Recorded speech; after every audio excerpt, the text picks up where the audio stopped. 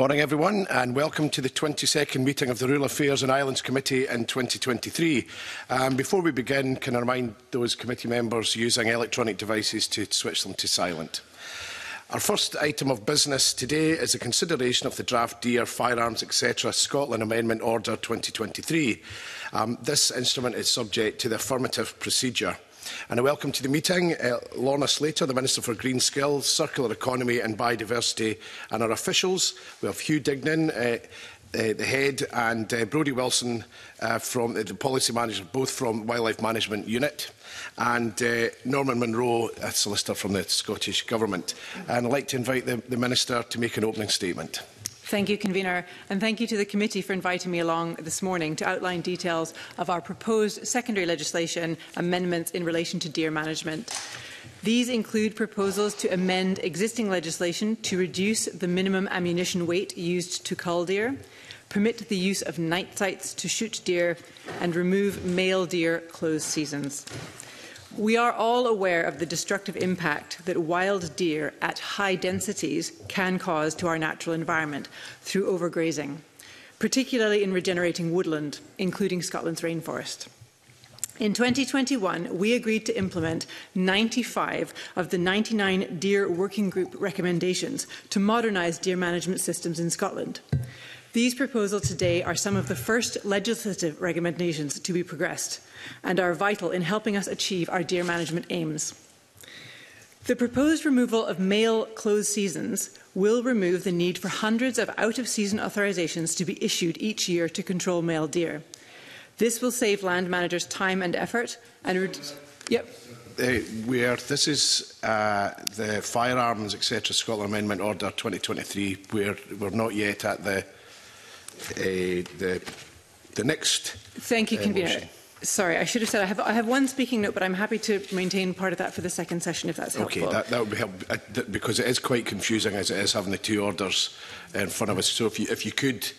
uh, focus on the, the firearms uh, SSI, please. Certainly, Convener. The proposal to reduce the minimum ammunition weight to shoot deer will make non-lead ammunition more accessible. This is important as venison suppliers switch to only accepting carcasses shot with non-lead ammunition. Mm. Uh, finally, on the use of night sights, this will allow longer deer shooting hours, especially in the winter months, and more effective culling operation in areas where deer use the cover of forest and woodland during the day and then come out into more open areas during the hours of darkness where they can be shot more easily. These measures are part of a wider package of deer reforms designed to deliver a range of public outcomes, including native woodland expansion, protection and enhancement of peatlands, reduced, reducing human health and safety concerns, such as Lyme disease and road traffic accidents. And I would like to thank all those organisations and individuals who have contributed to their development and to delivering on these vital objectives. Thank you. Um, we're, now going to move to, to questions from members. Um, I'm going to kick off. Um, under uh, the, the Dear Scotland Act 1996, Scottish uh, ministers are required to consult. Um, but there was no public consultation uh, on uh, the instrument. Uh, but it was, it was stakeholders who have an interest in the issue. Uh, can, you, can, you ask, can you tell the committee why the decision was taken not to go to a full public consultation on this? Uh, we have met all the legal requirements to consult on these proposals. I can give the convener the background here. The Dear Working Group report, which contained these proposals, was published in 2020. In response to that, prior to publishing our formal response, the Scottish Government both met with and sought written responses from key stakeholders, including the Association of Deer Management Groups, Scottish Environment Link, uh, and before publishing our response to the Deer Working Group. Since that response was published in 2021, we have also met representatives at both ministerial and official le uh, level through individual meetings with land management organisations and through groups such as the Deer Management Roundtable with some regularity. Although these conversations develop, uh, sorry, rather through these uh, conversations we developed a sound understanding of what the stakeholders' views are on such issues as closed seasons, which meant that when we received uh, the responses to our consultation, the views that we received were, were largely in line with what we already understood. So we have th those are the steps we've undertaken to consult on the matter. Okay, thank you. Rachel Hamilton. A, a supplemental to that, uh, Minister. How long did you give um, stakeholders to respond to the consultation? Which, what was the date that you published the consultation for them and which date did they respond? What was the closing date?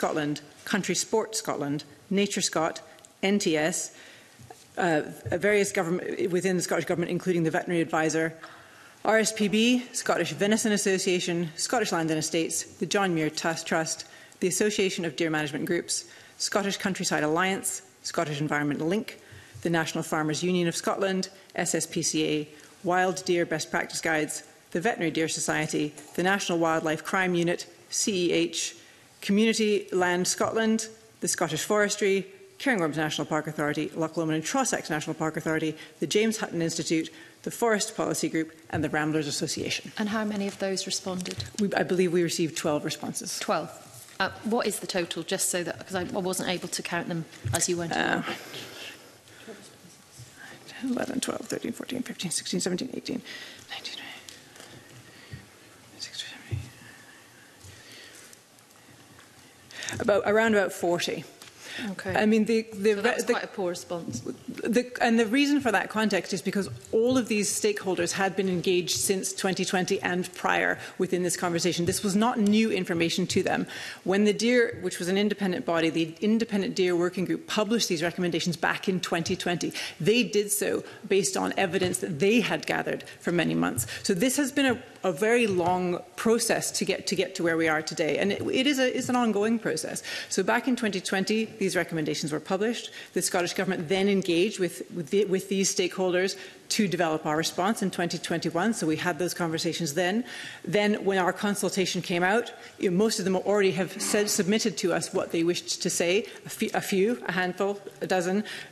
wrote back to us with additional information. They didn't contribute any new information. It was largely covering the same ground that we'd covered before. So this has been thoroughly discussed with stakeholders.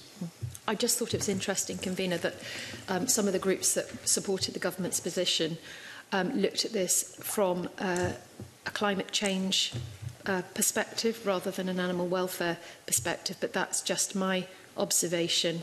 Um, in particular um, some of the organisations um, such as Natural uh, Trust for Scotland, Woodland Trust, uh, Scotland Nature Foundation, Trees for Life, they weren't looking at it from an animal welfare perspective, um, which I have to put my um, cards on the table and say that this is where my concern is um, around this SSI in particular. Okay, thank you. Ariane Burgess.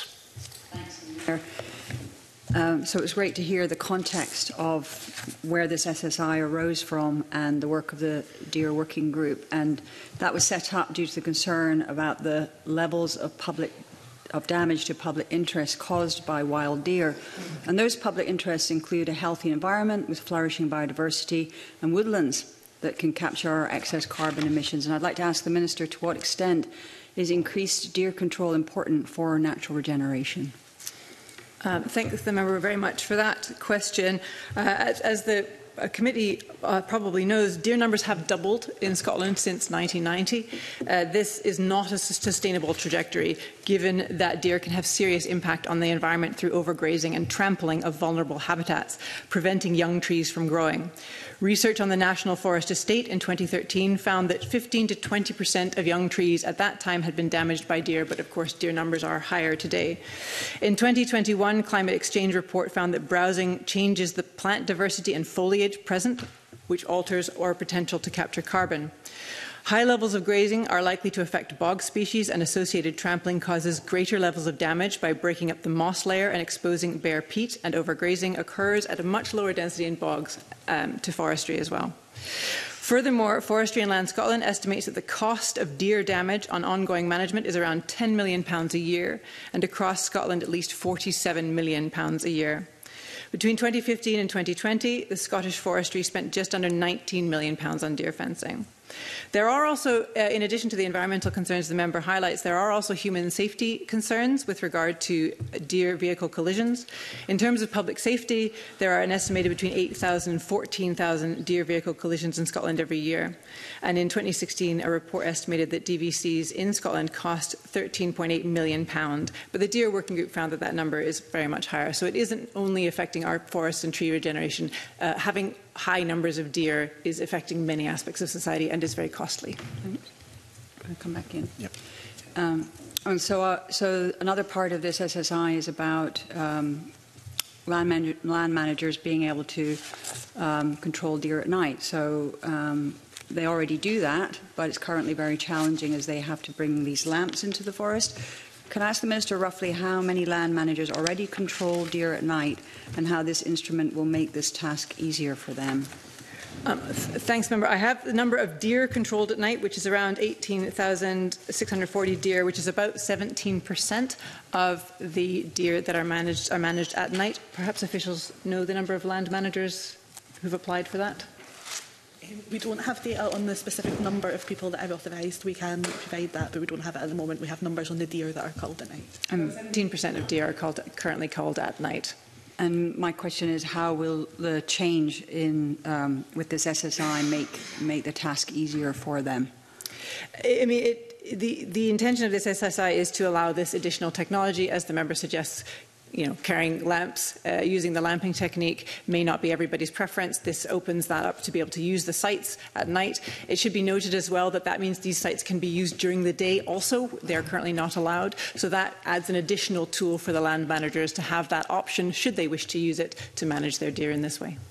And, and in terms of the concerns around animal welfare, has that been looked into?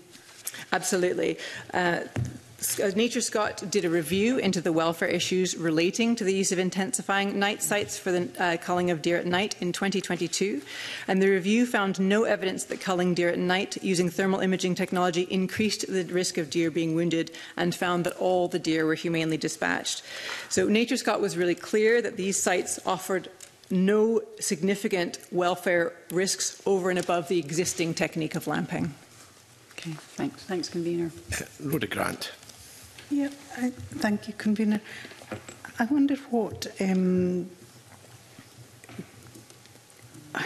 what research has been carried out into the safety of this. I mean, it seems to me it feels inherently unsafe that people are going around at night shooting things. Um, people walk around at night, people go into forests at night. You know, what, what research has been done to make sure that people cannot be inadvertently shot?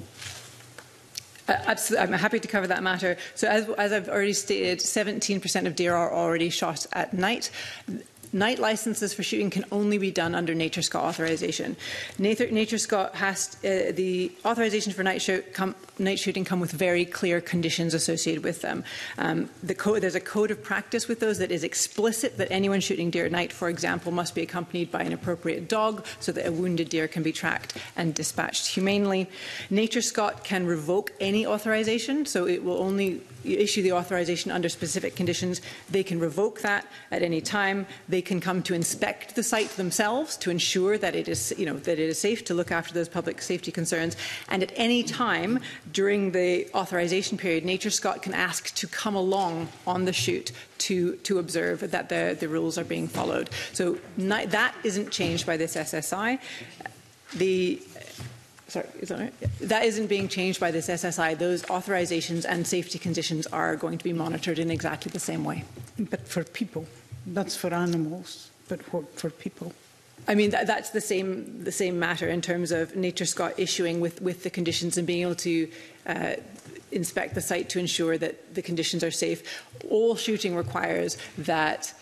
the person pu pulling the trigger have a safe backstop and observe all firearm safety requirements and absolutely that would consider you know people as well it is up to the person pulling the trigger to be sure that they have followed all the safety requirements and that it is safe for them to do so It doesn't feel safe.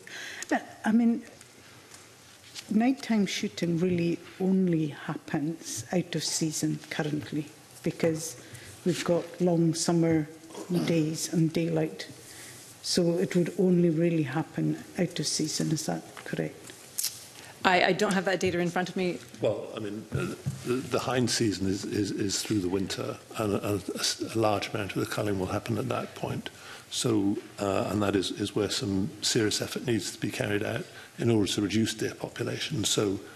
indeed, there is, is night shooting of, of hinds during the, the, the winter season.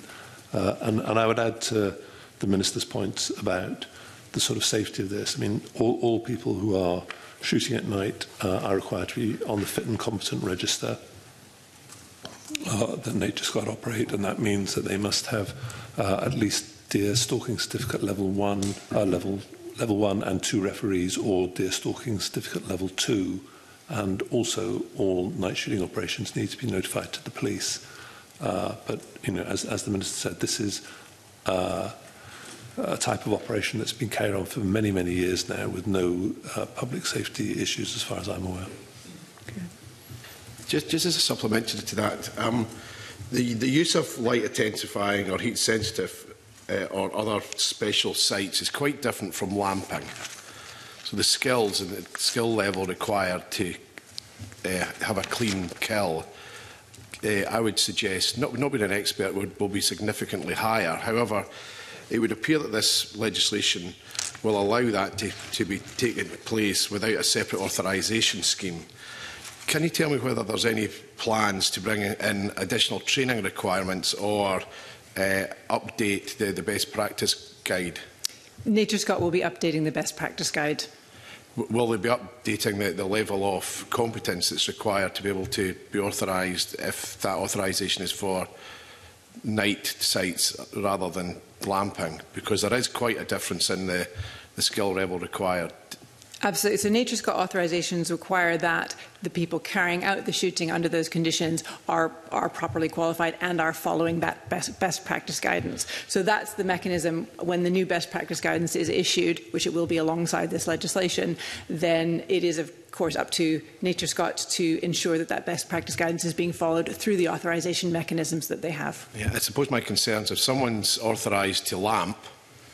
that would mean they're automatically authorised to use night sites without any additional conditions applied to that authorisation, which would mean potentially, if Nature's got an issue with someone's ability to safely or competently use night sites, they would lose the ability to lamp as well. I'm, I'm not sure that that assumption is correct, convener, but I'm happy to make sure we can get the information on that back to you. Exactly the detail of those authorizations, whether that night authorization specifies which technology is to be used, I, I'm not, I don't have that uh, detail, level of detail with me, but I'm happy to clarify. I, I don't think the, authorize, uh, the convener's assumption is necessarily correct there, that an authorization for lamping then allows you to go ahead and use different technology without um, clarifying that. Yeah, that, that's quite concerning. Um, so you may, if people are, are deemed not to be uh, suitably qualified or trained to use night vision sites, they would potentially not get a lamping licence because a licence or authorisation covers both. And as far as I can see, there's no differentiation between an authorisation for lamping or an authorisation for night sites. I, I mean, I, I would just uh, add, Convener, that when Nature Scott reviewed this, they did not recommend that there was any additional training required for night sights, okay. I, either the thermal intensification or, or the image um, enhancement. So uh, I'm, I'm not sure that we, we would accept the, the basic premise that a different level of skill is required. I mean, clearly, lamping and use of night sights are, are both things which require experience and people to be on the fit and competent register. But Nature Scott certainly didn't identify that there was a different skill set or additional training required in those particular uh, using those particular tools. Okay, because there's also different levels of um, specification for night sites, which could then increase the margin at potential error. Is there any specification of the the equipment that needs to be used for specifically, you know, the light intensifying or heat sensitive. Because again, lamping's lamping. You, you, you have a light source which then enables you to use standard sights to shoot whereas there will be different specifications. I could go into a shop and buy night sights for an air rifle, which would not be adequate to, to be used safely when you are stalking deer at night. I mean, as uh, we've said already, the stocking at night can only happen under authorization, and people doing that stocking have to fit that fit and competence te test. We haven't specified which types of scopes because technology is always evolving. There are many scopes on, on the market. The, that specific authorization for night shooting is the mechanism for ensuring that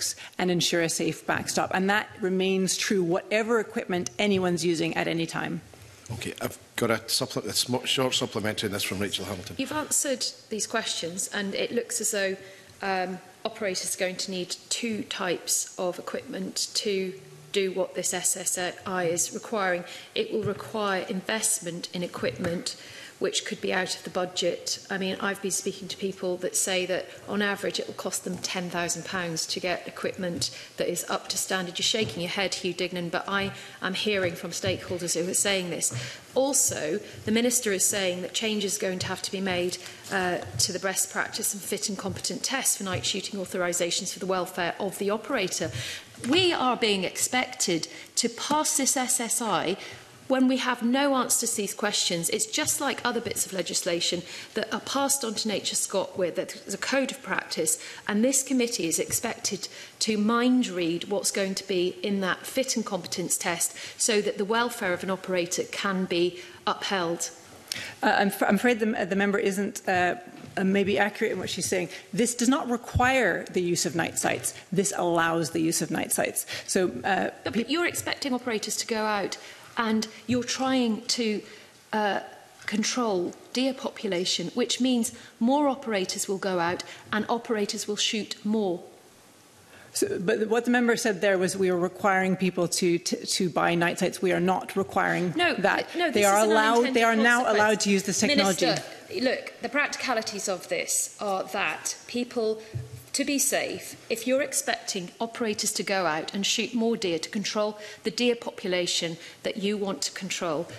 that they will then be doing more shooting and possibly at night. So, okay, it could be a, a, a hypothetical situation, but the likelihood of this is that this will happen and that they will require uh, the right equipment. Why would you not want an operator to have the right equipment? I don't understand this.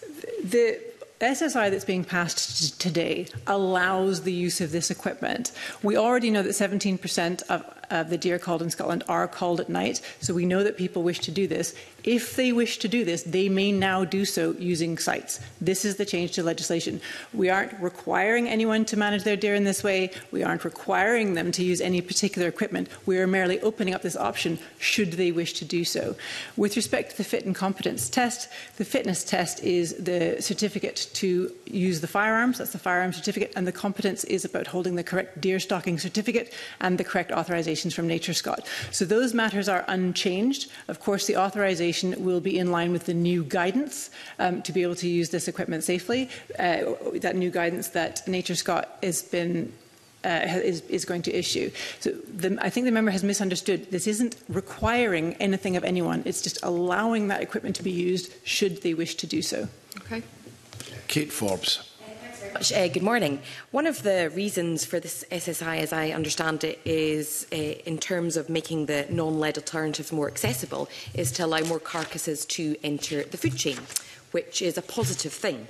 And we've seen examples uh, in the last few years of huge levels of waste particularly when non-shooting, non-commercial estates have culled tens, if not hundreds of deer and, and left them to rot. And I wonder what engagement the Scottish Government has had with uh, estates that might be considering doing that and what encouragement there is to ensure that uh, a great meat source is actually relieving hunger in this country rather than being wasted. Absolutely. I support the member's call for a, a thriving venison industry and making sure that that becomes a re reliable food source. Um, you've correctly identified that changing the ammunition weight does allow for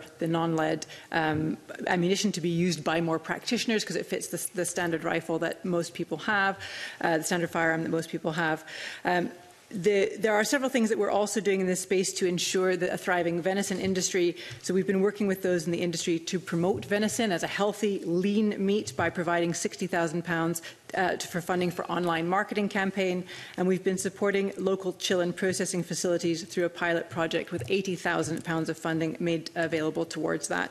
I'm also aware of the recent announcement by the Scottish Venison Association and their partnership with the Country Food Trust, and this partnership will see wild venison coming from Scottish, Scottish deer to going to food banks, kitchens and other charities one of the that's very very helpful and you may be familiar as well with the country food trust which did a great job in terms of taking uh, venison that might otherwise go to waste and creating nutritious meals which they then donate to food food banks but obviously one of one of the risks is that if you have a massive increase in culling particularly if it's out of season then that has a huge impact on the likelihood of that meat being eaten. And of course, it just sits so wrongly with me that we might be wasting meat.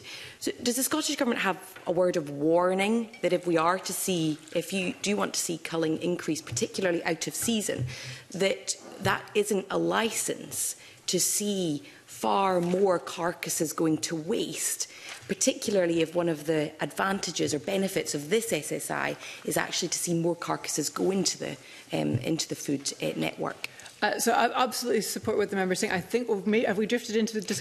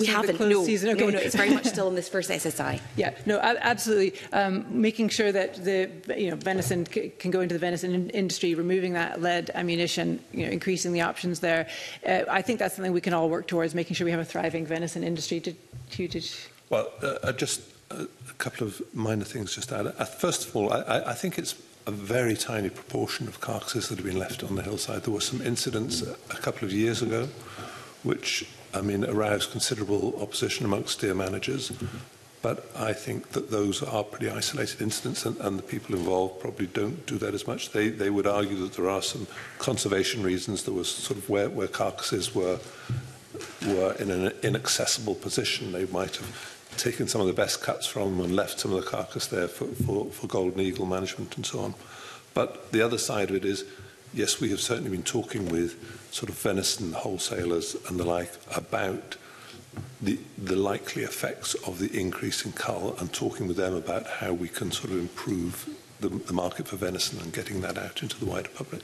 Thanks. Uh, we've been joined by Edward Mounting uh, this morning. Edward, uh, do you have questions? Yes, thank you, Convener. And before, before I go any further, I would like to just remind members of my register of interest in that I have a small farming partnership, uh, which does have deer on it, ray deer on it, which are given the protection because my neighbours uh, kill an awful lot of them. So, uh, I Minister, I'm less concerned about the night sites uh, and the use of night sites. I am disappointed that you have come here unable to say that there will be a difference between using II, IR and TI and what sites will be acceptable under this legislation. Uh, I think that's an admission. I think there's an admission there on training as well and, and the extra requirements on training because as the convener said, that lights at night you can see your backdrop – Um, you can't see a backdrop with thermal imaging. Uh, you can to a certain extent with IR and II, but not with TI because uh, it will just blend into the backdrop. So that, that does concern me without extra training. I would like, though, to talk about and ask you about non-lead and the use of copper bullets. The point of lead and expanding bullets is to cause catastrophic uh, shock to the, uh, to the animal which causes it to die instantaneously. And there is some tolerances when you're using lead bullets on the exact bullet placement. And there is the ability, therefore, if you're slightly further back on where you should be shooting it, it will still pick up the lungs and the liver and cause the animal to die almost instantaneously. Not so with lighter bullets and copper. Can you tell me uh, what investigation you've done uh, regarding the use of copper bullets and bullet placement, where you're going to shoot the animal, especially at night using a, a TI or an II or an IR sight, and how you're going to achieve that with lighter bullets that require more accurate bullet placement.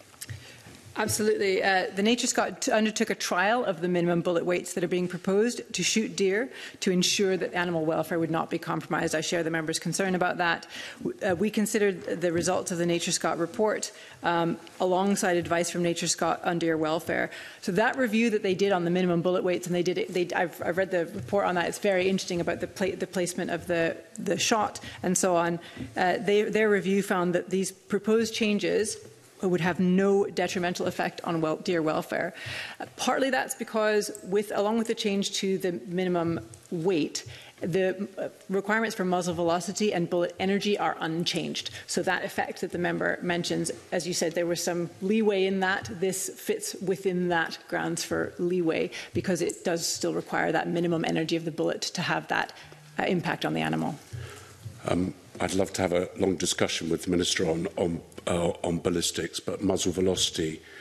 um, is one thing, which is nothing about delivering kilojoules of energy in a direct point at the point of aim. The problem is with lighter copper bullets, unless you hit a bone, you are going to cause deflection And, and there, is no, there is no doubt that if you hit an animal slightly further forward on the shoulder blade, the bullet can travel over the shoulder blade and out the other side. If you hit it too far back in the guts, it may pass directly through the animal because there is no expansion. My question, therefore, is using these during the day is fine because you can aim specifically for a bone at the top of the leg and hopefully hit it. Can you achieve that with thermal imaging, infrared, and IR sites? Are you confident you can do it? I'm a practitioner with 40 years experience. I'm not sure that I can. And I've used some very good thermal imaging sites. I mean, Nature Scott, when they investigated the, both the use of the night sites and the, I mean, and the change to ammunition weights, did not find that there were any welfare concerns at all over and above lamping, which you know is itself you know a practice for trying to trying to see things in the dark.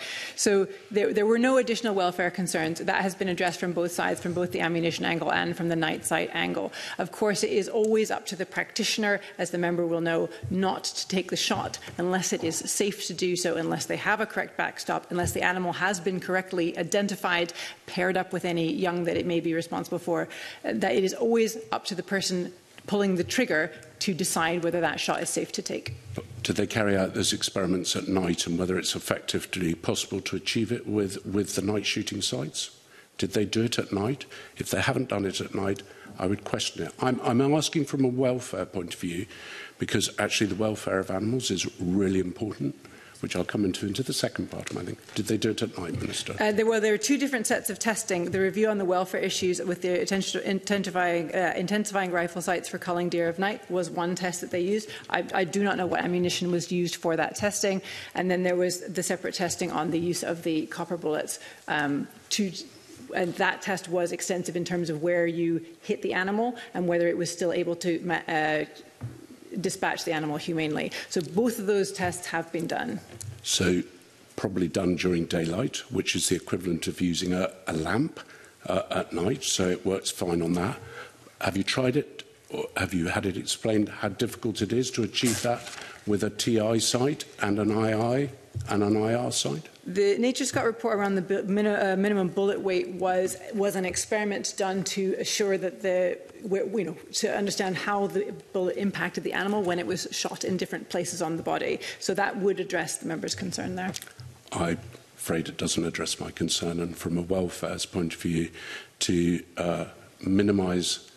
uh, any welfare issue from animals, and the, and the issue is at night following them up is really difficult uh, because you can't do that, okay, if you have a dog with you.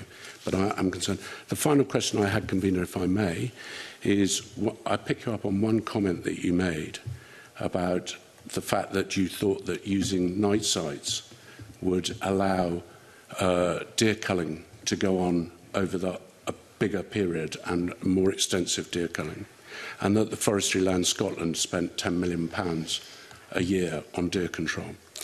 Well, here's some figures for you that I know are correct. Forestry Land Scotland asked their rangers to kill over two deer every day that they work a year. That's a huge amount, uh, and it's probably not achievable.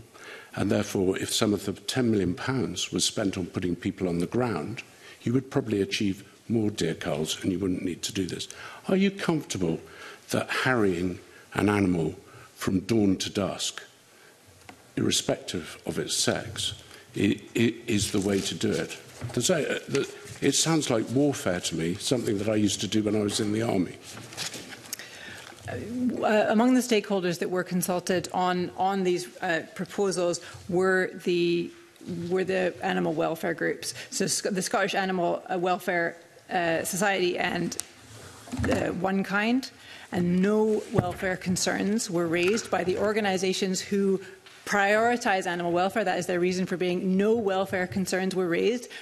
by those organisations in relation to these legislation. So that has been that has been looked at. I think the member briefly referred to there about the the dogs um, for the for the night shooting. That is of course part of the good uh, practice guidelines to have a dog to make sure that any animal can be tracked. And I'm glad you clarified that it was good practice guidelines. And the Scottish Animal Welfare Commission members, not a single one of them, not a single one of them are dear management practitioners. They are uh, World Federation of Animals, animal welfare officers, vets, police, uh, lecturers. Not a single one has practiced deer management on a large scale. And that concerns me because at the end of the day, all us par parliamentarians must ensure the welfare of the animals that we're killing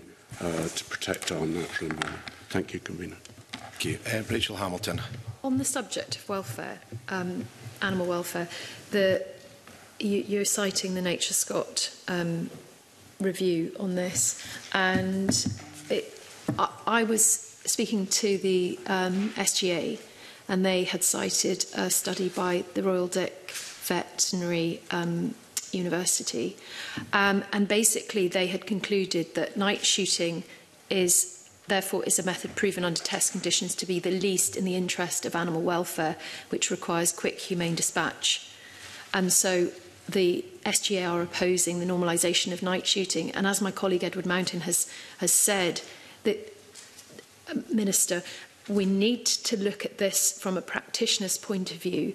Um, I don't know what, what the, the uh, opinion of um, FLSs on this. I mean, do they agree with SGA? Why did you not uh, get um, a more, more information around the humane cull of deer, perhaps from the Royal um, Dick Vet?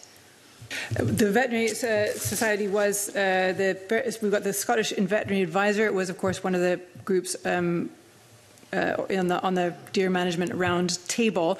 I want to make it really clear that night shooting does require an authorization from Nature Scott that requires that the good practice guidelines be met. It allows Nature Scott to come and see the site where the night shooting will take place and even to accompany the practitioners doing that the, that is unchanged. Night shooting does require that special authorization. We know there is a, a demand for this because some amount, as I said, 17% of animals are shot at night, but that is not proposed to being changed. Night shooting will still require that special authorization and that special oversight from Nature Scott. So that is unchanged. Again, this isn't a requirement. People who wish to manage their deer at night now may use these new technologies.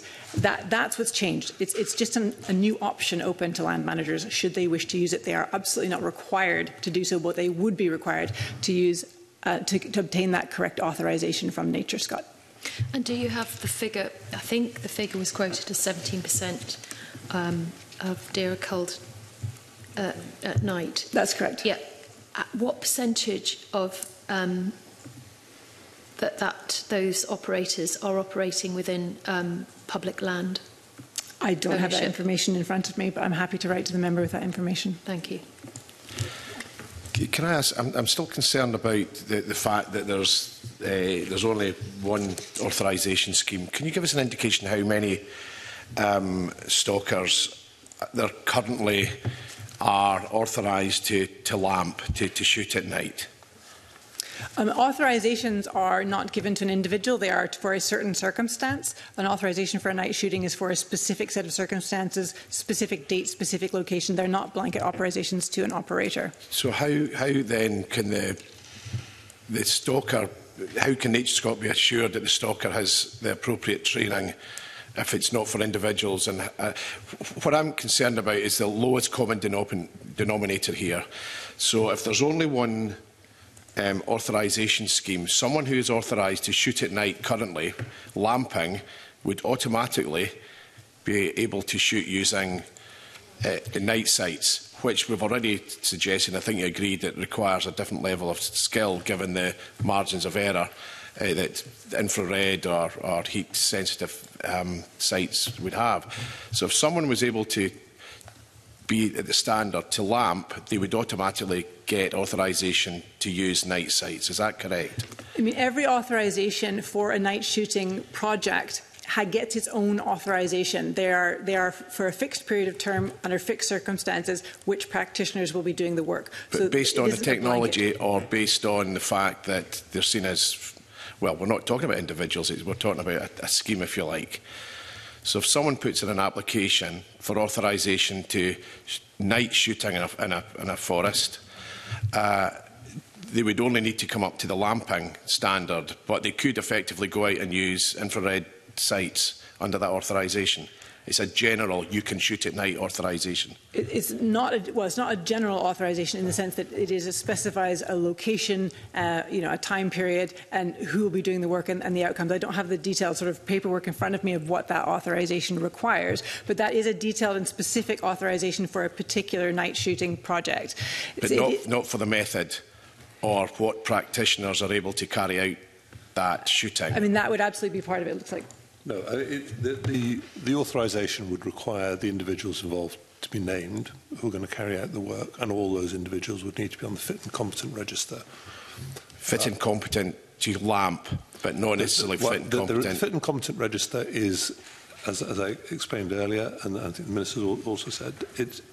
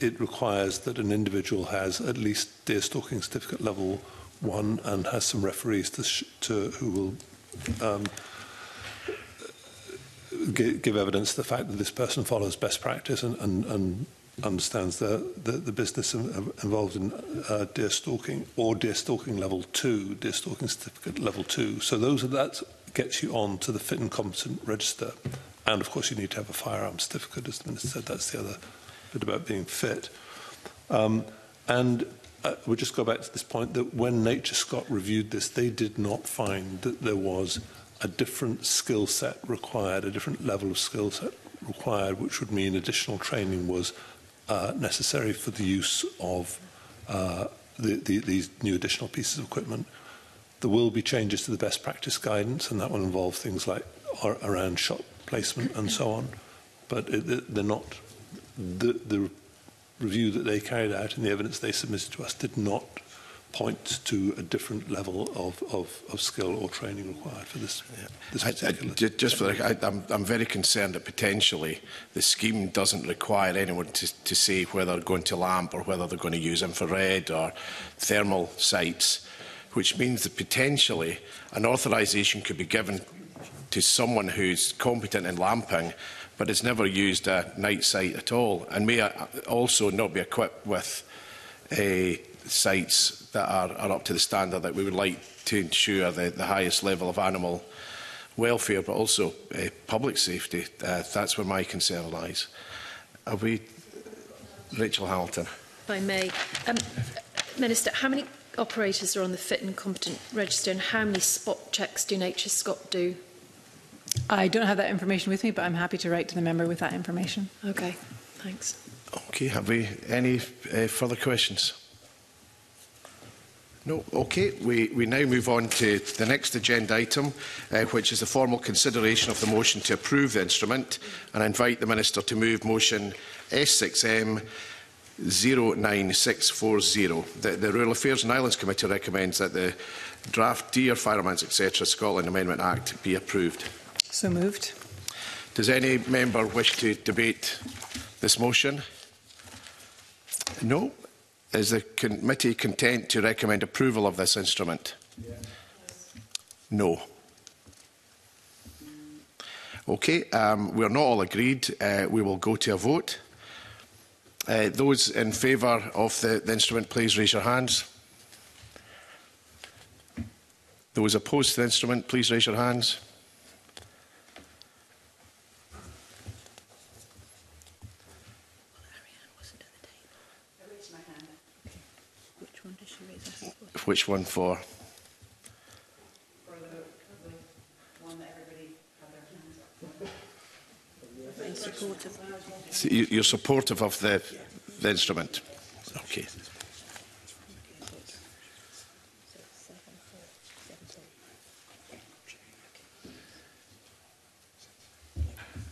Uh, and the vote is six in favour and two against. Uh, so the committee approves uh, the the, the motion. Um, finally, is the committee content to delegate authority to me to sign off a report on our deliberations on this affirmative SSI?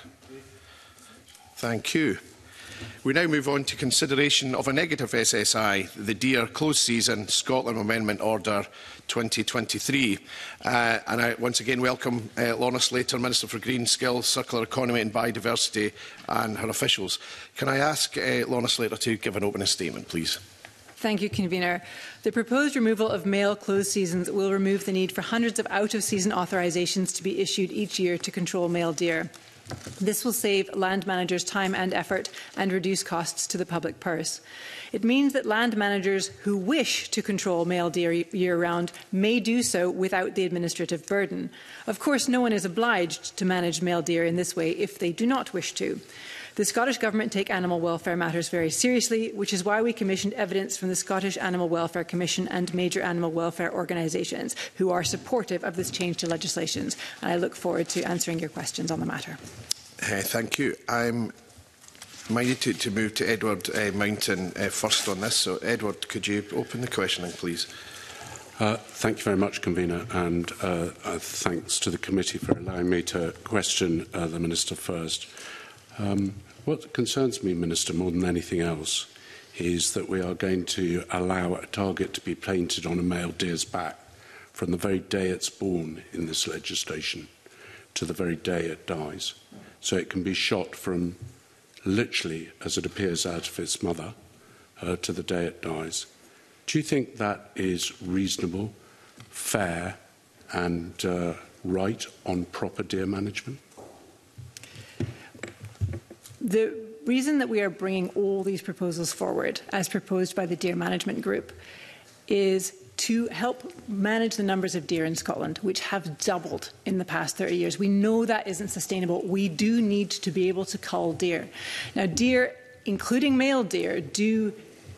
nibble, nibble at the shoots, nibble at the trees year round. They trample the peat year round. We do need to be able to manage their numbers. Male deer closed seasons were traditionally in place not for animal welfare reasons, but to ensure that male deer were able to grow suitable antlers for use in the, for the sporting season. There is no animal welfare reason for male closed seasons. And therefore, removing the closed season does not affect that. But what it does do is mean that practitioners are able to shoot deer year round without that administrative burden. 48% of deer culled in Scotland, of male deer culled in Scotland, are already called out of season. So nearly half are already called out of season. And but to do so, the operators have to put in quite a lot of you know, paperwork and administrative burden to do so. This will just change that, that administrative paperwork to allow people to do what they are already doing. Um, Minister, I, I hate to actually say you're wrong, but you are wrong. The reason for closed deer seasons was not to allow antler growth. That is just fundamentally untrue. Uh, the reason for closed season is that the deer were in very poor shape in most cases after they completed the rut, certainly the red deer. And by harrying them all year round, uh, what you're doing is increasing the pressures on them. As a deer manager, uh, I can give you examples where I picked up 60 young stags that were dead on the edge of a plantation after a very cold and wet spring.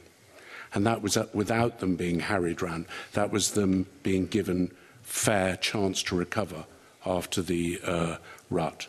So what you're going to do is going to increase that. And I think if your basis is that you are basing this legislation on it's all about growing antler, I'm afraid that's wrong. So, Minister, are you happy that when the deer is at its weakest point, at its most challenge point before it goes into the most challenging season of the year, winter in Scotland, that you are going to be harrying it around and shooting it at every possible opportunity.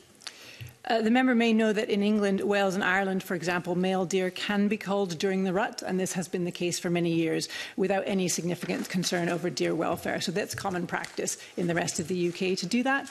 There are no welfare concerns with hunting deer at any particular male deer at any particular time of the year over and above whether the deer is tired or not when you shoot it does, doesn't matter to that particular deer. And, sorry, it is uh, up Minister, to the with the greatest respect, you've just stated another untruth because in Scotland you are allowed, with the male closed seasons, you are shooting male deer during the rut process, but afterwards you're giving them chance to recover. So it's a pity for me and really disappointing that you've made that comment, because that's the second thing that proves that there is a lack of knowledge on how to manage deer.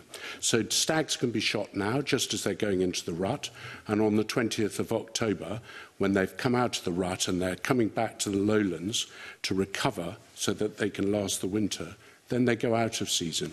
And if you want to talk about roe deer, we have a similar situation. They rut in August, and, and they are allowed then to recover after the rut uh, before they go into the winter. So I'm, I'm sorry, I don't accept that. And I, I find it hugely disrespectful to the animal that you're talking about that, that you don't know when they're being shot at the moment in Scotland. So my, Could I just remind we have plenty of time for I this sorry, session? I, I, and, and I think happy, it's just. I am happy then, convener, could, to ask no further questions and allow the committee and take my time up during the time when I. I uh, I, I just wanted to, to remind you that we've got plenty of time, so there's no need to interrupt the Minister when she's given her response. I just want to make sure we, we, we carry out our debate uh, with the highest level of respect. So if the Minister's responding, I, I, would, I would request you not to interrupt until she's finished her answer, because you, okay. will, you will have plenty of time during this debate phase and also uh, later on in the agenda to, to raise all the points you, you need to raise. I'm, I'm suitably chastised, Convener, and on the note of that chastisement, I will keep my questions uh, and my comments to the bit on my motion to annul, because I feel passionately about it and I feel it's really important that we are factually correct and deal with the welfare of animals. If I may, convener, just to respond to the, the final point there that uh, Mr. Mountain was making, as I said earlier, 48% at the last uh, data that we have of male deer are currently culled out of season. That's nearly half of deer are currently culled out of season. We know that there is demand from some land managers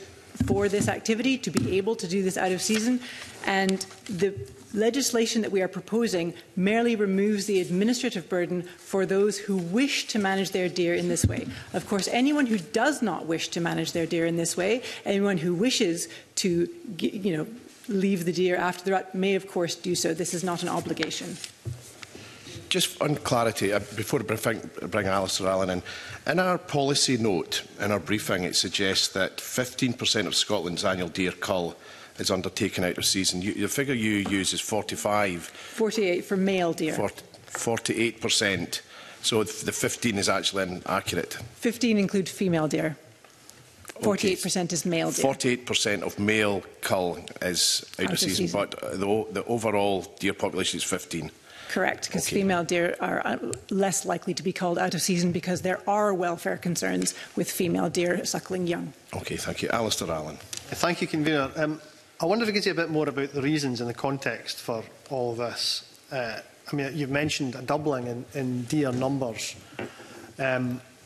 I mean, I think it would be fair to observe, would it, that deer numbers in Scotland are out of control in many parts of the country. I mean, I think, for instance, of a, a public meeting I was at in my constituency where the debate raged as to whether um, 100% of the deer should be killed in South East or East or merely 90% of them. Uh, nobody spoke up for anything less than 90%. Now, I don't pretend that that's typical of all areas, but would it be fair to say that deer numbers in Scotland are out of control? I think that's a fair assessment for certain parts of Scotland. I know some land managers, many land managers manage their deer very well, uh, where they're managing for re regeneration or for specific interests. Overall, though, the member is correct. With deer numbers doubling, that is unsustainable and will not allow us to reach our goals on biodiversity, nature restoration,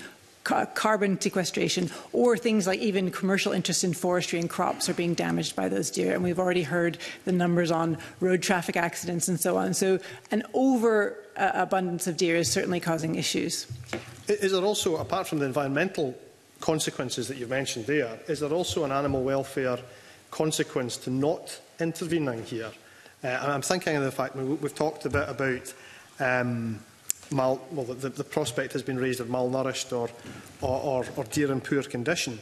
Uh, would it be fair to say that one of the, the big reasons for deer being malnourished and in poor condition to the point where many can't successfully leap a fence uh, is because there are too many of them in many places and they cannot survive in the habitat in which they've multiplied.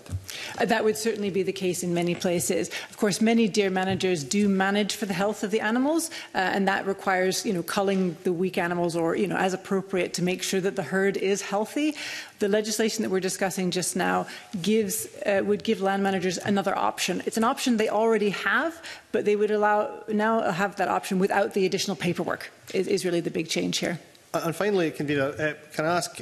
I mean, the the question has been raised here, or the prospect has been raised um, uh, today and uh, online um, as well. I think uh, by the member, uh, the prospect has been raised of uh, of uh, deer calves being um, killed the moment that they're, they're born.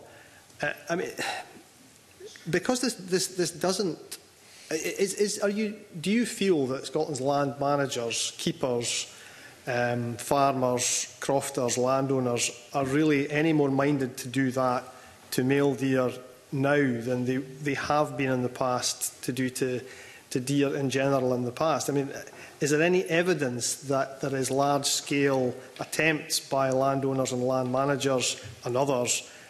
um, to kill deer the moment they're born? No, I don't think that that's true. Um, I, though I haven't got I haven't got evidence to that effect, but I, I don't think that's true. I think that our land managers and stalkers share the members in this room concern with animal welfare, and of course our managing their animals in the best interest of the health of the animals as well as of the landscape that they are managing. It is, of course, up to the land manager and the professional who is undertaking the deer management to make the uh, decisions around animal welfare. If they feel the animals are being harassed, if they feel there's a welfare concern, they can, of course, make the decision not to undertake that stocking activity at that time. That is fully within the discretion of those professionals who undertake that activity, and I know those professionals take animal welfare very seriously. Thank you, Convener. Uh, Rhoda Grant. Um, thank you, Convener. Can I just ask uh, a, a supplementary on questions that were asked before um, about the percentage of um,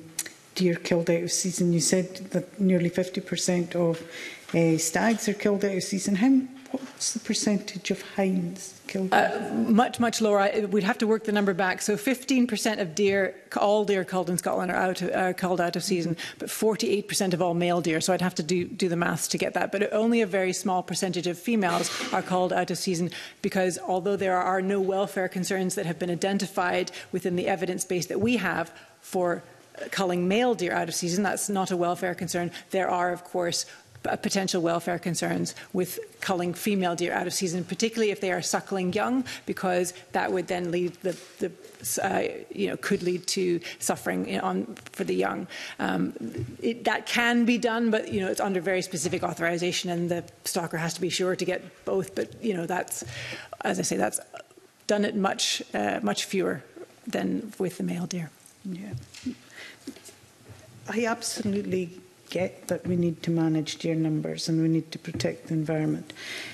But it seems to be quite a recent phenomena that deer numbers are being allowed to go out of control. And given the number of licenses being applied for, which is why you're putting forward um, this SSI, what steps has Nature Scotland taken before this time to encourage land managers to manage their deer numbers because we've seen you know we've all heard of you know contract killing coming in to manage deer numbers almost against the will of some land managers you know we hear stories about deer being shot from helicopters and pretty obscene things like that going on. Um, So I just wonder what Nature Scott has been doing when those kind of contracts are being let out to manage deer numbers, to encourage those land managers to to manage their deer properly within season. Absolutely. I mean. Uh, shooting deer from helicopters is not part of standard deer management practice. That isn't that isn't part of standard deer management practices at all. I wouldn't want the member to think that. In terms of there are various ways in which we support deer management. In Scotland, we've heard about the money that Sc uh, Forestry Land Scotland invests in that to, to protect those lands. The key mechanism for managing deer by land managers is deer management groups, where several land holdings will get together and come to an agreement on how to manage deer, because, of course, the deer move between the land holdings. And the, the purpose of those agreements is to allow the land managers themselves to decide what is the right amount of deer and how they want to manage them between themselves. And the association of those deer management groups has been part of this gathering of the evidence base. I mean, there, there are ongoing efforts to manage deer that Nature Scott have been involved in, including citing fencing, installing that fencing, making sure that fencing is, is um, marked so that it doesn't uh, hinder capercaillie and other ground nesting birds who may fly into the fences and be injured. So the management of the deer is a very comprehensive um, project being undertaken by not just Nature Scotland but by land managers and forestry managers as well. It may be of interest to the member to know that way back in 1959, the Deer Scotland Act was introduced at that time with the uh, intention of reducing red deer impact on forestry and agriculture. And since that time, red deer numbers have we think, doubled twice. They doubled between 1959 and 1990, and again between 1990 and now. So the existing deer management measures that are in place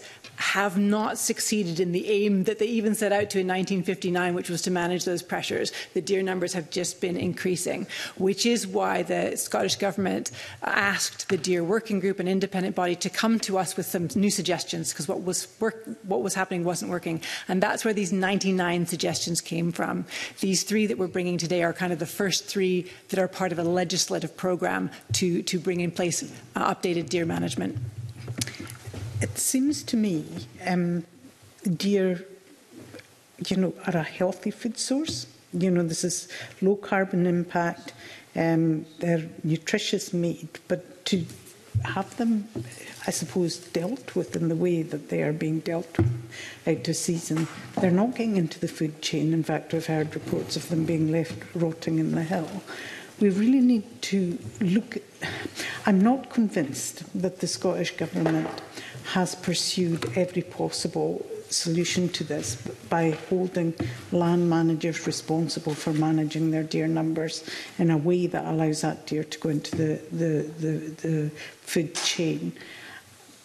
And I just, we know that deer fences keep deer out. We know, we know that you can manage your numbers down to zero if you, if you want with on, on your land. And I just uh, don't quite understand, or as close to zero as the, the, the one or two will always get across. But if you have a deer fence in place and you manage your numbers, you can manage that properly. And I, I just wonder if all of those options have been taken before we kind of use this nuclear option of just killing deer willy-nilly at any point. I mean, I, I, I'm not comfortable with the framing that this is killing deer willy nilly. That's not that's not the situation.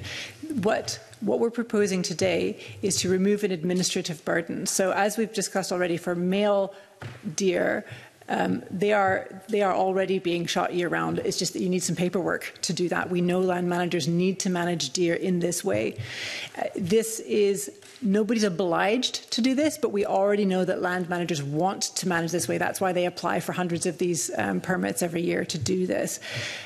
The point around the venison, I think, is a good one. Managing deer is costly, it's expensive. Building fences, maintaining fences, hiring professionals to do the stalking, all of that is expensive.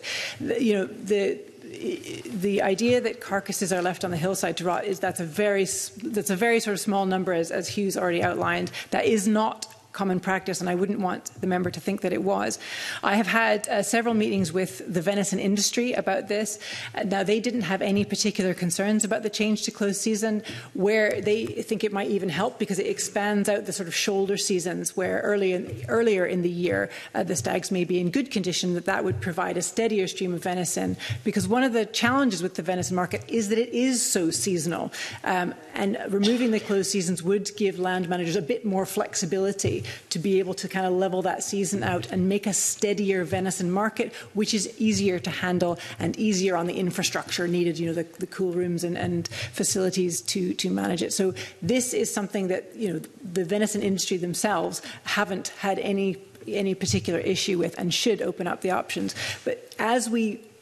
cull more deer in Scotland as we need to do so, that will increase the supply of venison. And as I've outlined earlier to one of the other members' questions, we are putting investment into making sure that infrastructure is in place and making sure that, as you say, excellent, organic, healthy meat is getting onto people's plates. Um, before I, I, I bring in Karen Adam, uh, Beatrice Wishart's got a supplementary specifically on that topic. Uh, thanks, Convener. It's just on the on the numbers following Rhoda Grant's uh, line of questioning. Um, you've said that the deer numbers have doubled since 1990, but I had a conversation with an ENGO recently who indicated that the figure, that the uh, uh, numbers had been relatively stable over the last 20 years. But you've also said that they've doubled from 59 to 90 and then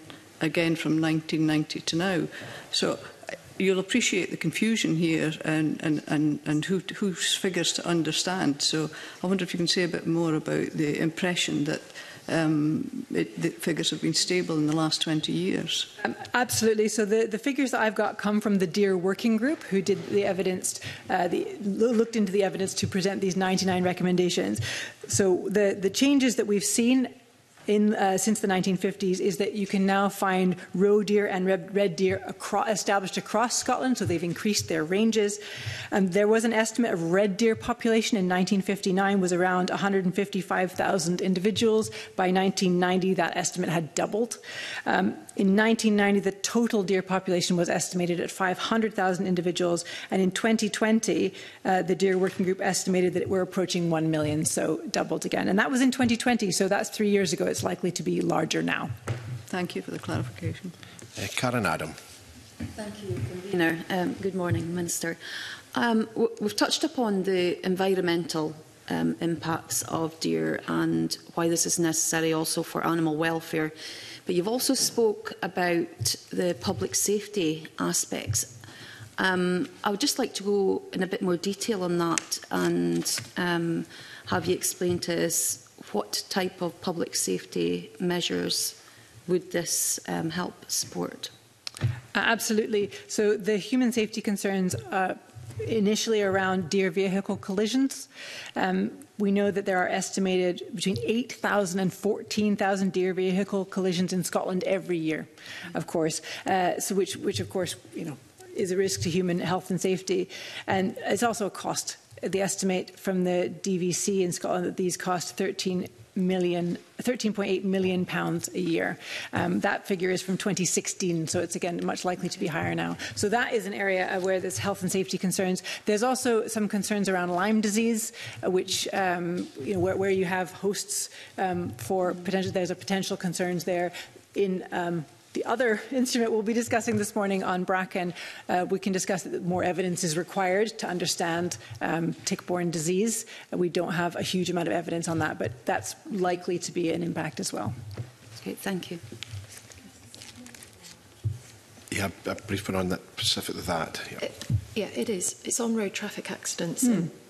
just to register my interest, my daughter had a very bad uh, accident, uh, which you're describing, but she's fine. So um, the, I don't understand how road traffic accidents can be prevented if male deer are being um, shot near pregnant hinds, which causes them to bolt. What, what do we, will we have a situation where you're monitoring the numbers of road traffic accidents if you're using this to bring down the numbers? I don't understand how you can monitor the number of road traffic accidents that this is going to reduce by bringing forward this SSI? I mean, we can monitor the number of road traffic accidents in Scotland. Yes, this SSI don't. is part of is part of a larger package of measures. As we reduce the number of deer in Scotland, the number of collisions with those deer will reduce. Okay, so, but okay, I'll ask a question uh, specifically beyond that. That was a supplemental to the road traffic accident. Thanks. Uh, Kate Forbes. Thanks very much. Um, just a series of, of questions.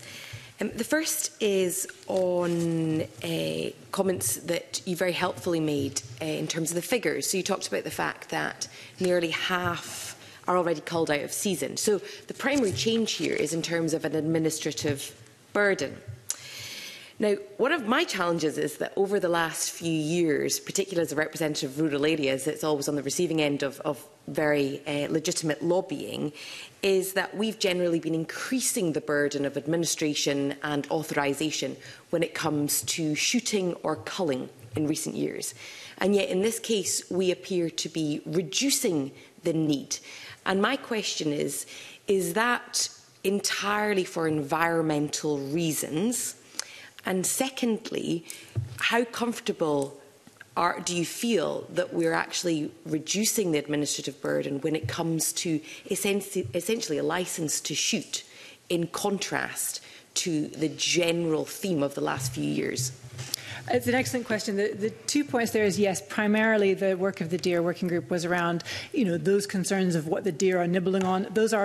partly commercial concerns for crops and forestry, but also environmental concerns. So that overgrazing causes problems both environmental and, and uh, commercial, which is why we need to address the deer numbers overall.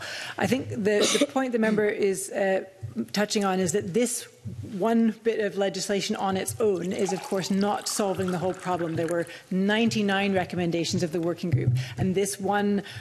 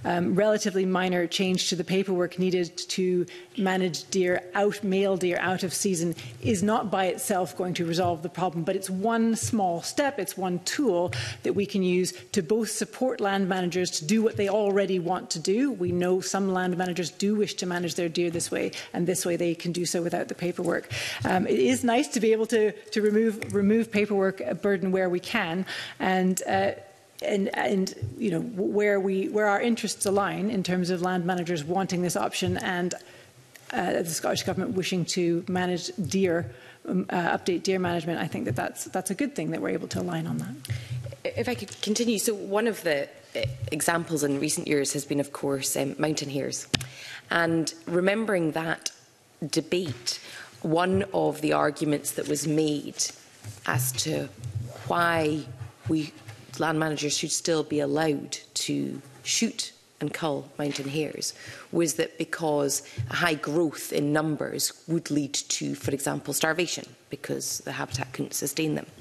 Um, and again, I, I think that we need to probably think more carefully about how we explain the fact that we've taken a very different direction on mountain hares, which have an equally detrimental impact on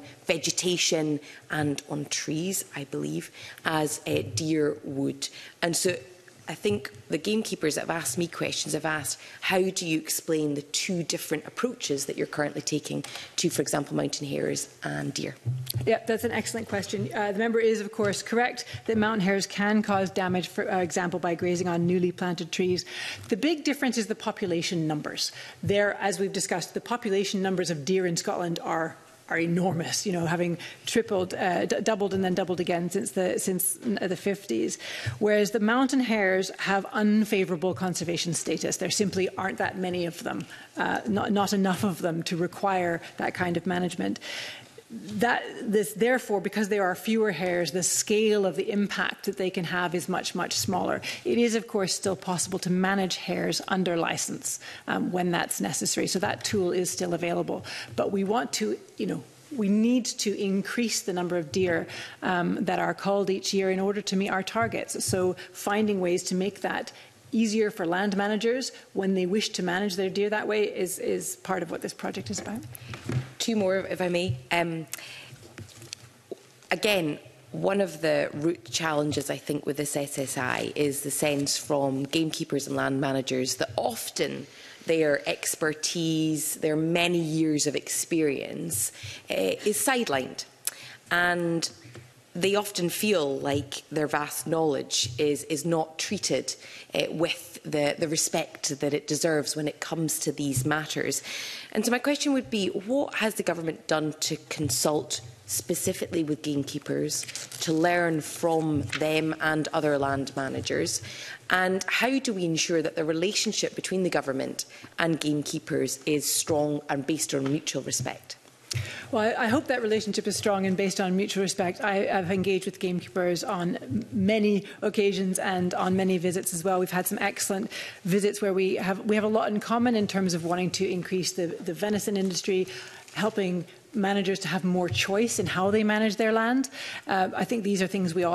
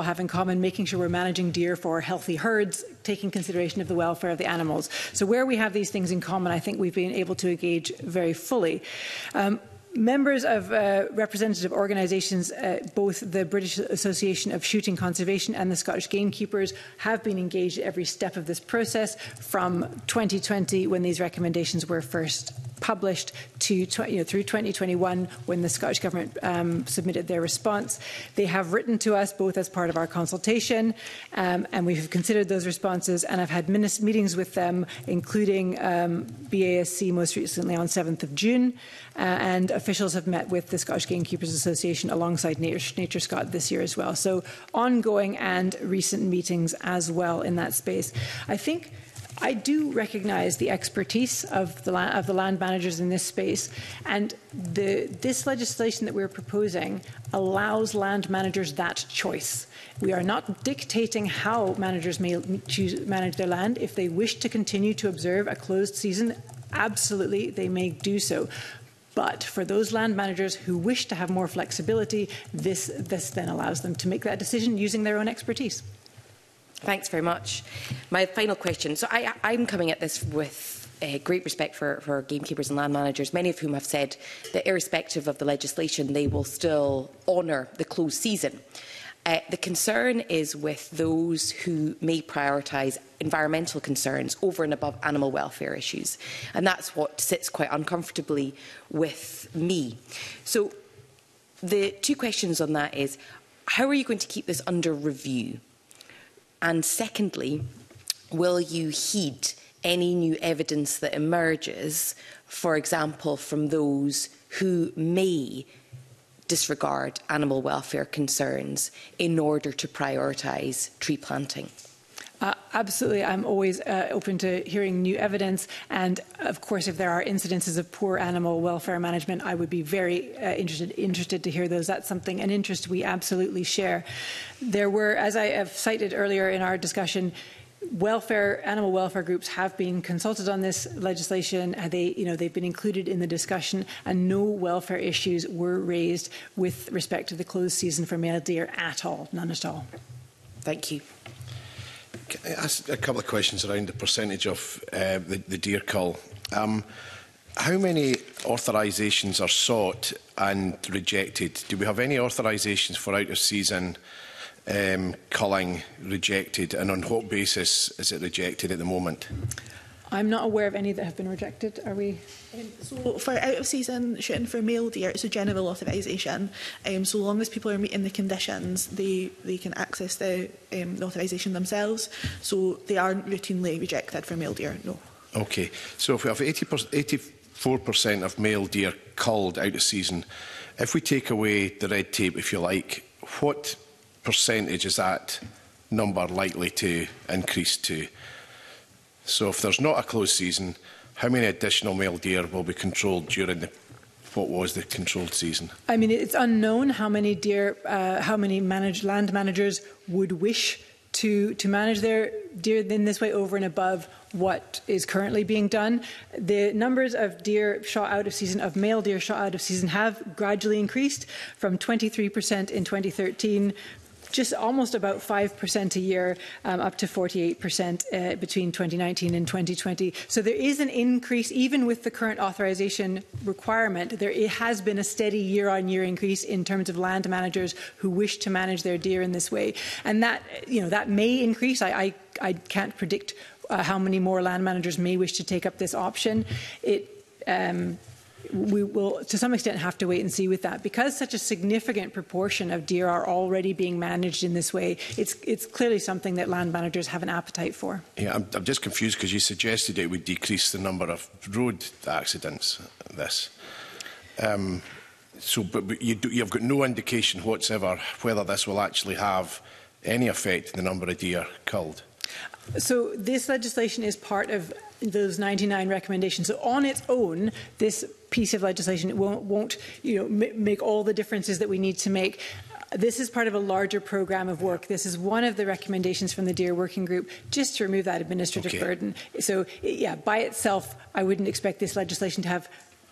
measurable impact on its own. Okay. Off, off the 48%, there is a figure that you, you, you I, I would imagine you will be aware of.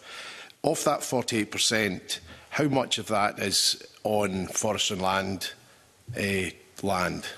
Um, I, I don't have that information in front of me. Is it, is it likely to be the bulk of that 48% or...?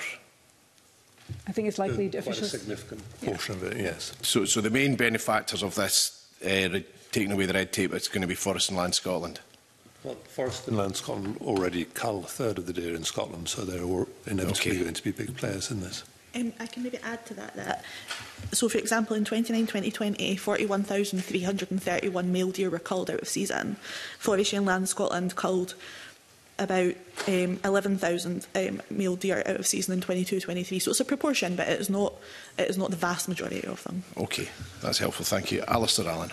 Um, thank you uh, very much, convener. Um, some of the um, the argument uh, uh against or around this instrument has focused around uh, animal welfare. I wonder if you could just say a bit more about the animal welfare evidence that you considered. I mean, I'm thinking of, and it's been alluded to, the Scottish Animal Welfare Commission's findings that uh, providing the normal requirements for high standards of public safety and animal welfare are adhered to, um, there is no need for a closed season for males.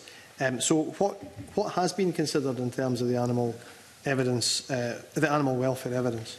I mean, that, that's, what, that's exactly what the Government have done is, is look at closed season in other countries, for example, which are substantially different in, in the rest of the UK than here, and the reasons for those closed seasons being in place.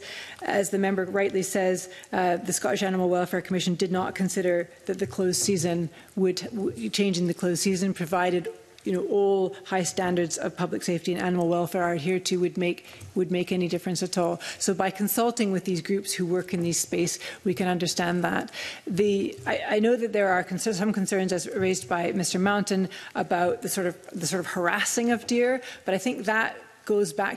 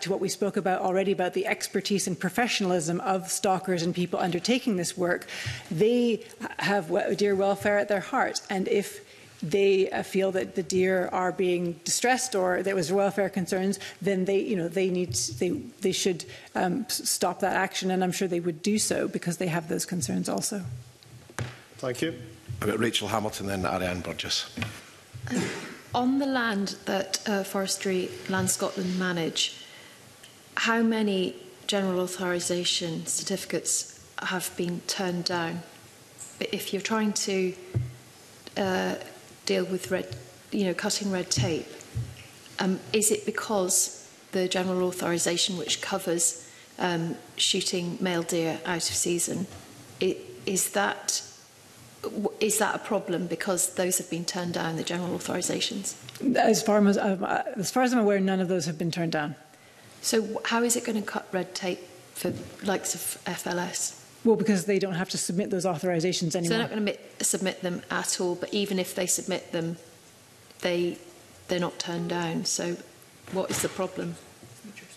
Sorry, it's Nature Scott they should submit them to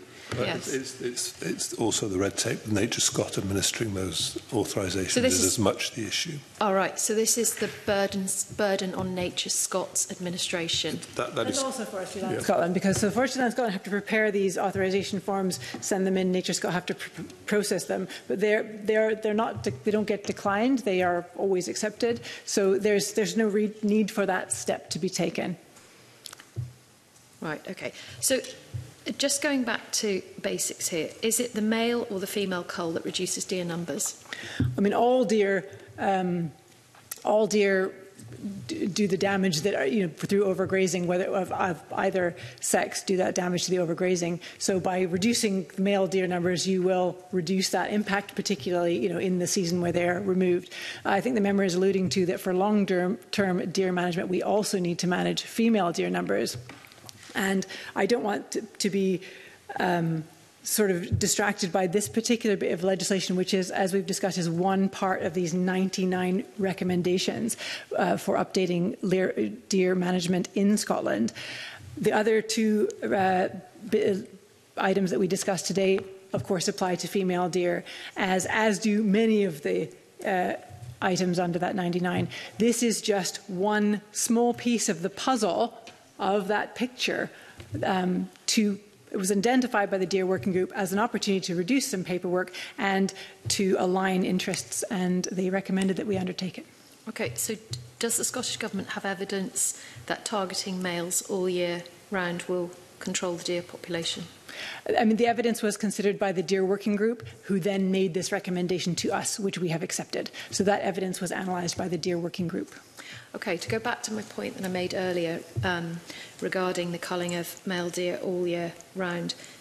near pregnant hinds, it is likely, um, first of all, that they'll bolt, they'll use up reserves, and that they will not be able to get through the winter because they will use, we use up those reserves. And likely um, the welfare issues will be starvation or uh, mortality through starvation.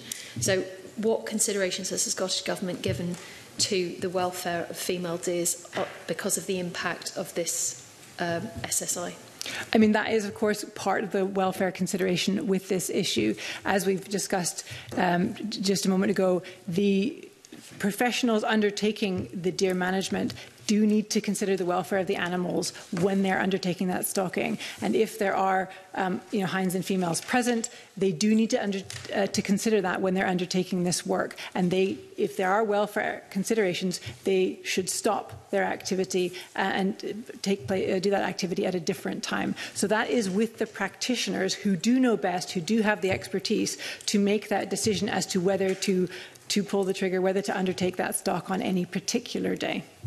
on the basis that um, land managers have raised concerns, I presume, with all of us in this room.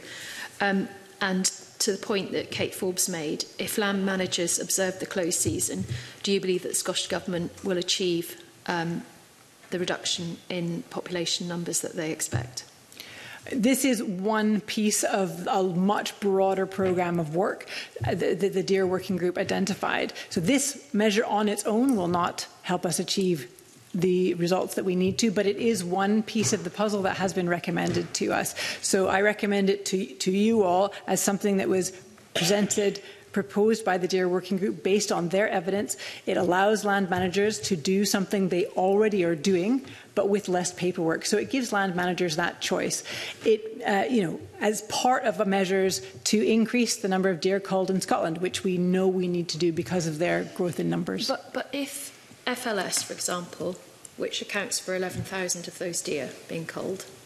as according mm -hmm. to Brody Wilson's figures, if they continue to do that, but no general authorisation has been turned down, the same number of deer will be controlled. Because if um, land managers that control uh, private land ownership choose not to do this, you're in the same position currently on publicly owned land. I mean, we don't know how many land managers have been deterred from managing out of season because of the paperwork requirements administration. Figure that you should I mean, be all, considering in All of these measures are intended to make it easier to manage deer, uh, and part of that is giving land managers more tools to do so. Uh, this, you know, this is part of that kit to, to allow that. As one measure on its own, it will not achieve that. It's part of the whole picture of things. So because this is such a, you know, a relatively small piece of the puzzle, to make just remove one piece of administrative burden as part of a larger program. I think that's how it needs to be pictured. Um, it, this may well increase the number of land managers who choose to manage this way. Yes, but it's not like bringing in seatbelt legislation. Everybody wears a seatbelt, and uh, we cut, we actually cut down road traffic accidents. It's not like that because what you're trying to do is bring forward something that a group of people believe is detrimental to the animal welfare of uh, particularly female deers, deer.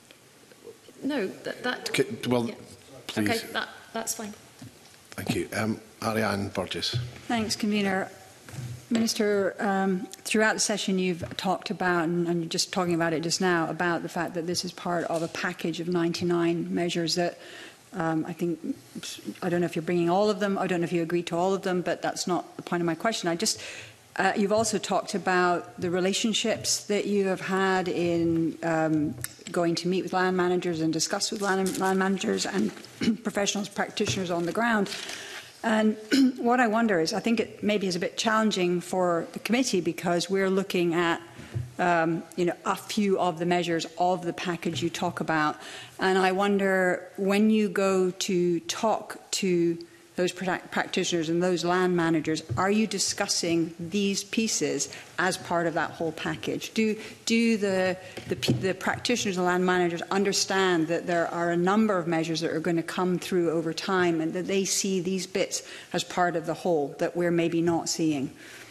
I, I, think that that's true. that land managers do understand the need to manage deer. This is why so many, you know, deer management groups. They are largely voluntary organisations where land managers have got together with their neighbours to figure out how how to manage deer.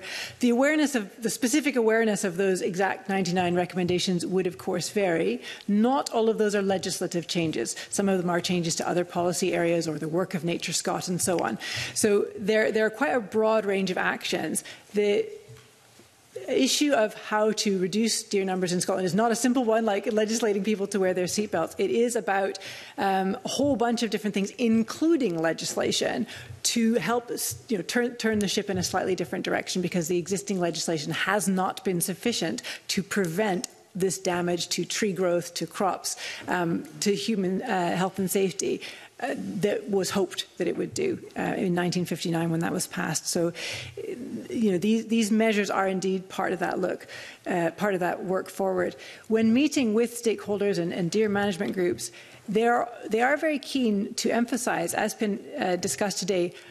that they understand the need for deer management, that they have concerns for animal welfare. Most of their issues are around funding. Um, how, how do we pay for this?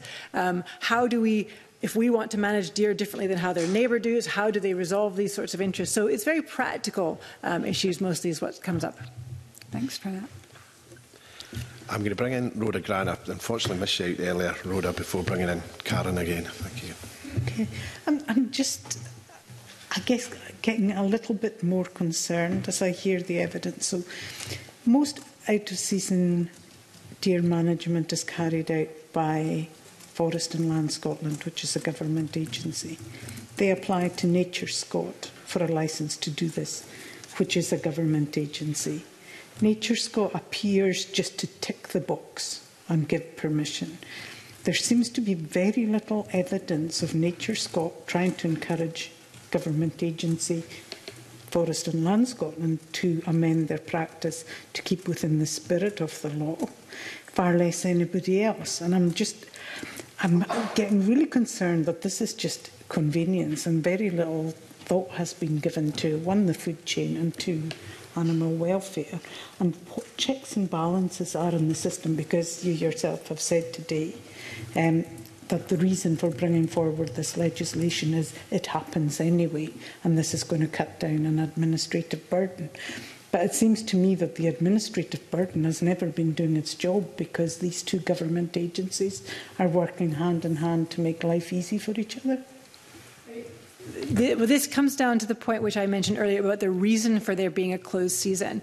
The closed season is not the male deer close season is not a welfare issue.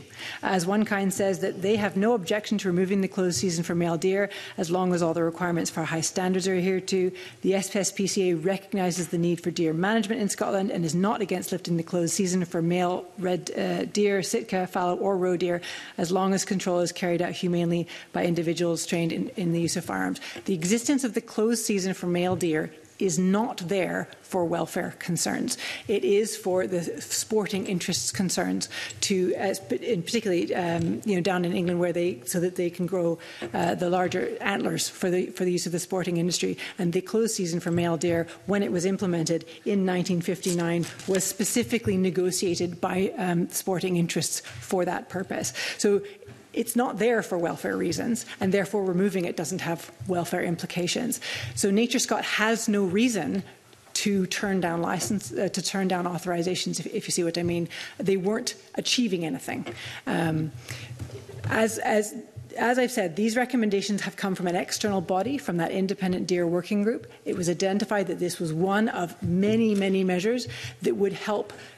to um, you know, get us towards where we need to be in Scotland with deer management, which is we do need to increase our cull um, and we do need to reduce deer numbers. And this is one of the tools to do that. And, and how many of the deer that are culled out of season go into the food chain? Uh, I don't have numbers for that at the moment, but of course, as many as that possibly can do that. But I'm happy to write to the member with that information. Karen Adam. Thank you, convener. Um, I just want to clarify, get clarity, sorry, on a, on a few points. So we've heard arguments that there may be more deer killed earlier, male deer, um, straight from the womb, but we've also heard that this might not increase the number of deer that are killed. So just for clarity, What exactly would this do in regards to the numbers of deer being culled?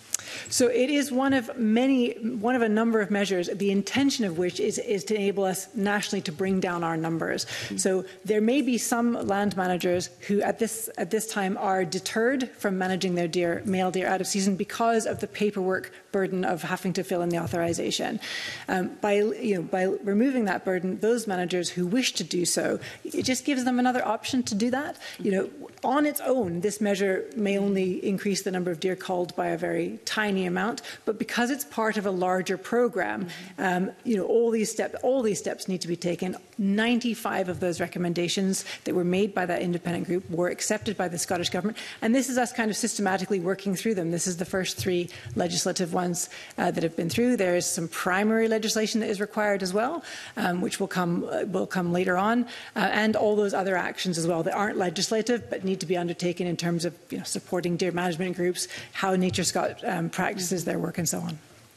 Skip, Thank you.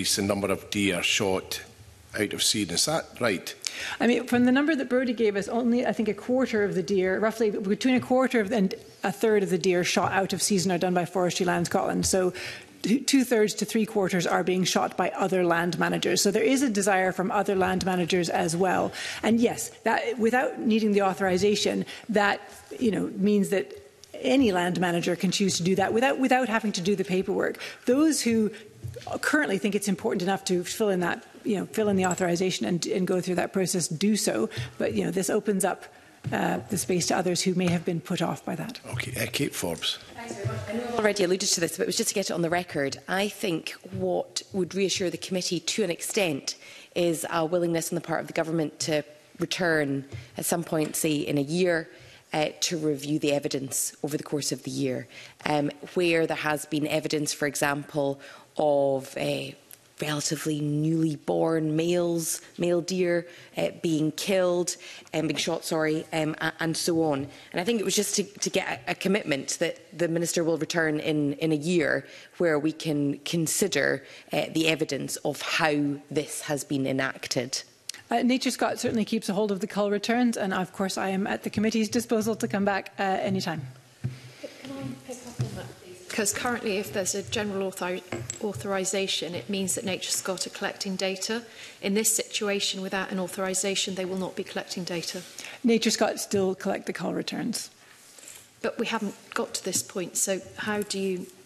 how do you know that they'll do that? Is that something that they that is part of the agreement? Yeah, Nature Scot will be collecting call returns because it's important for all of us for deer management to understand um, the call numbers and so on.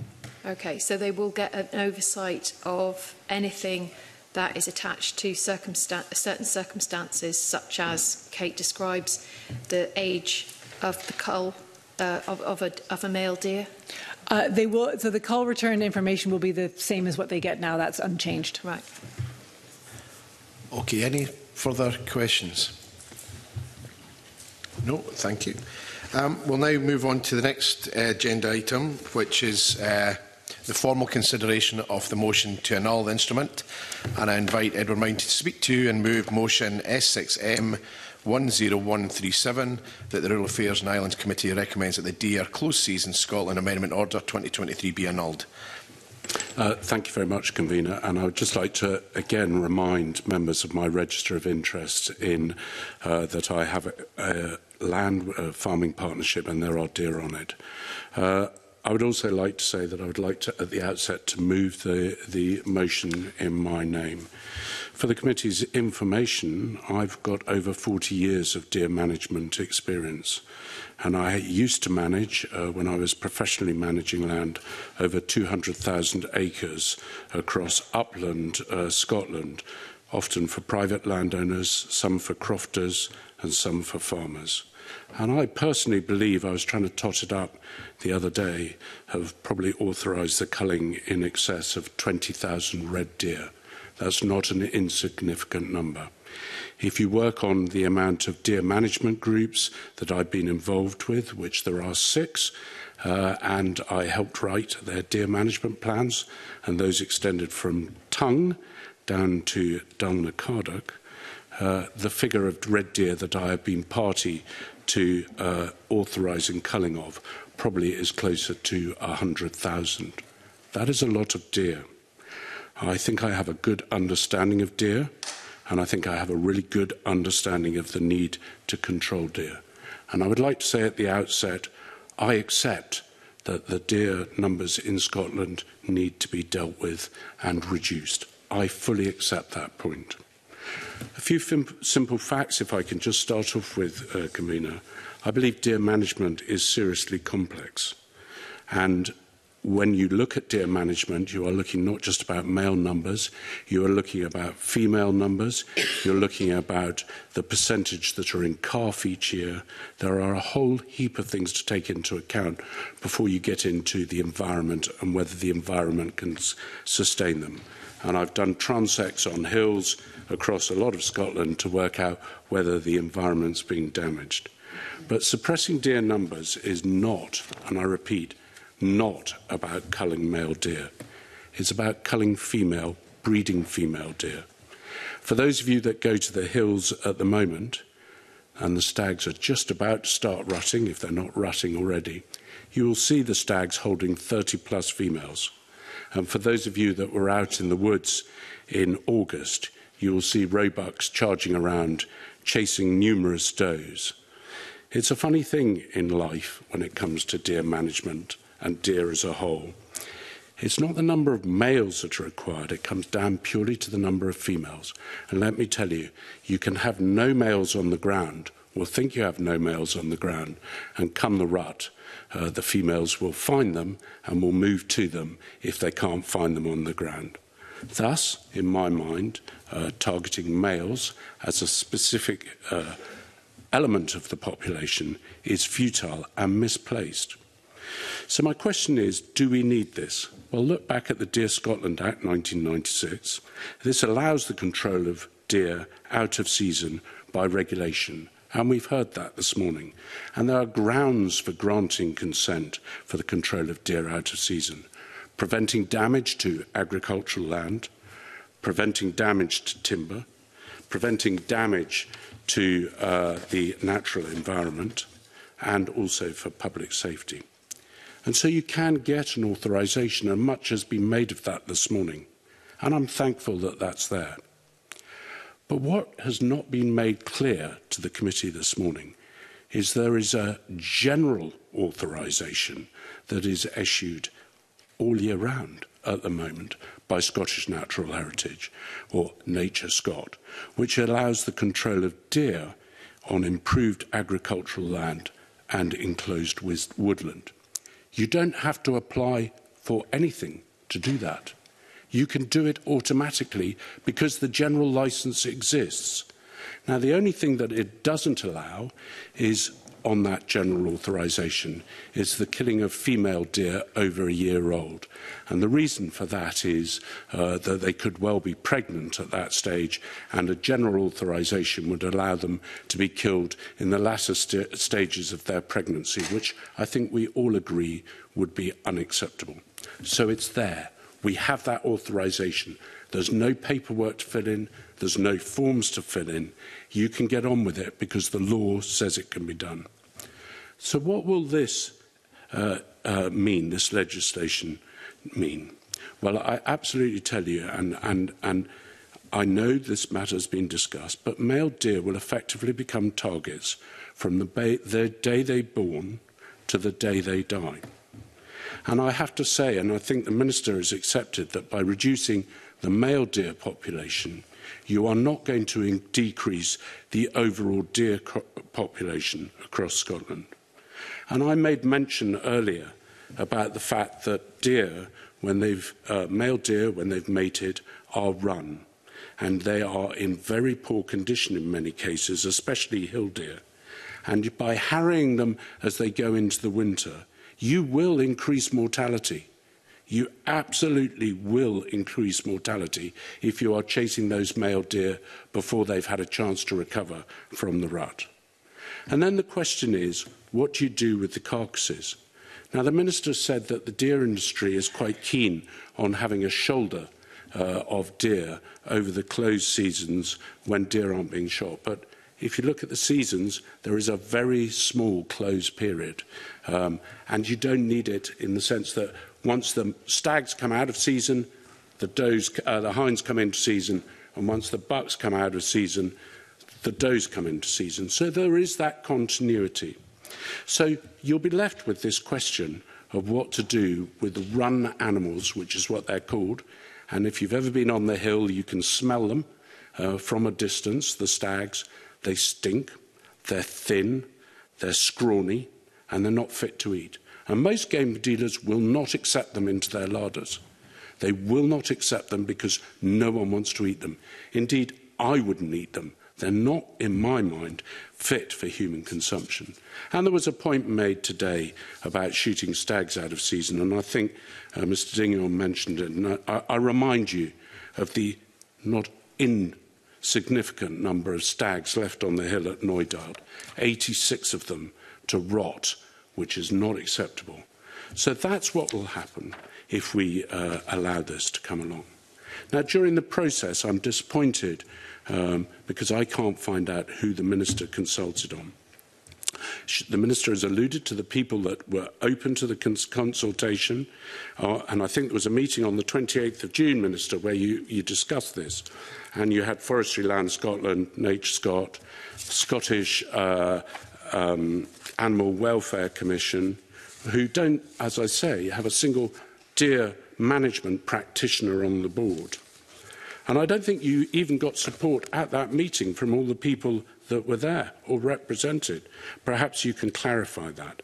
But what is abundantly clear is that dear managers, dear practitioners on the ground were not in favour of this and don't support it. So perhaps in answer to this, at the end, the Minister will be in a position to clarify who actually voted in favour of this and who voted against it. And we've heard today about who will use this. What we've heard is that people who manage deer will be unlikely to use this regulation. And I hasten to add, manage deer. Because what we've also heard is that the people who are likely to use it and will support it and have said to me openly they will support it is Forestry Land Scotland, RSPB and some landowning charities. But I say to the committee, remember, they don't manage deer. They are not deer managers. They are land managers and they control deer to allow their other activities to take place. I don't criticise them for that, but there are two very different objectives. Now, when I started the campaign, which I'll talk about in a minute, uh, to uh, the petition to overdo this, I was stopped when I was driving down the road, actually uh, uh, around Inverness, by a, a Forestry and Land Scotland ranger who said to me, Thank you, Edward, for doing this. I'm disgusted by the job that I'm having to do. I'm having to kill over two deer every day that I work. I'm told it doesn't matter what age they are, what sex they are, or whether they're calves, whether they're females. They are in timber. I'm told to destroy them. He was disgusted. He said to me that that was not management, that was eradication. Now, I find that difficult, and I find that difficult from a welfare point of view, which is the point I want to come on to next.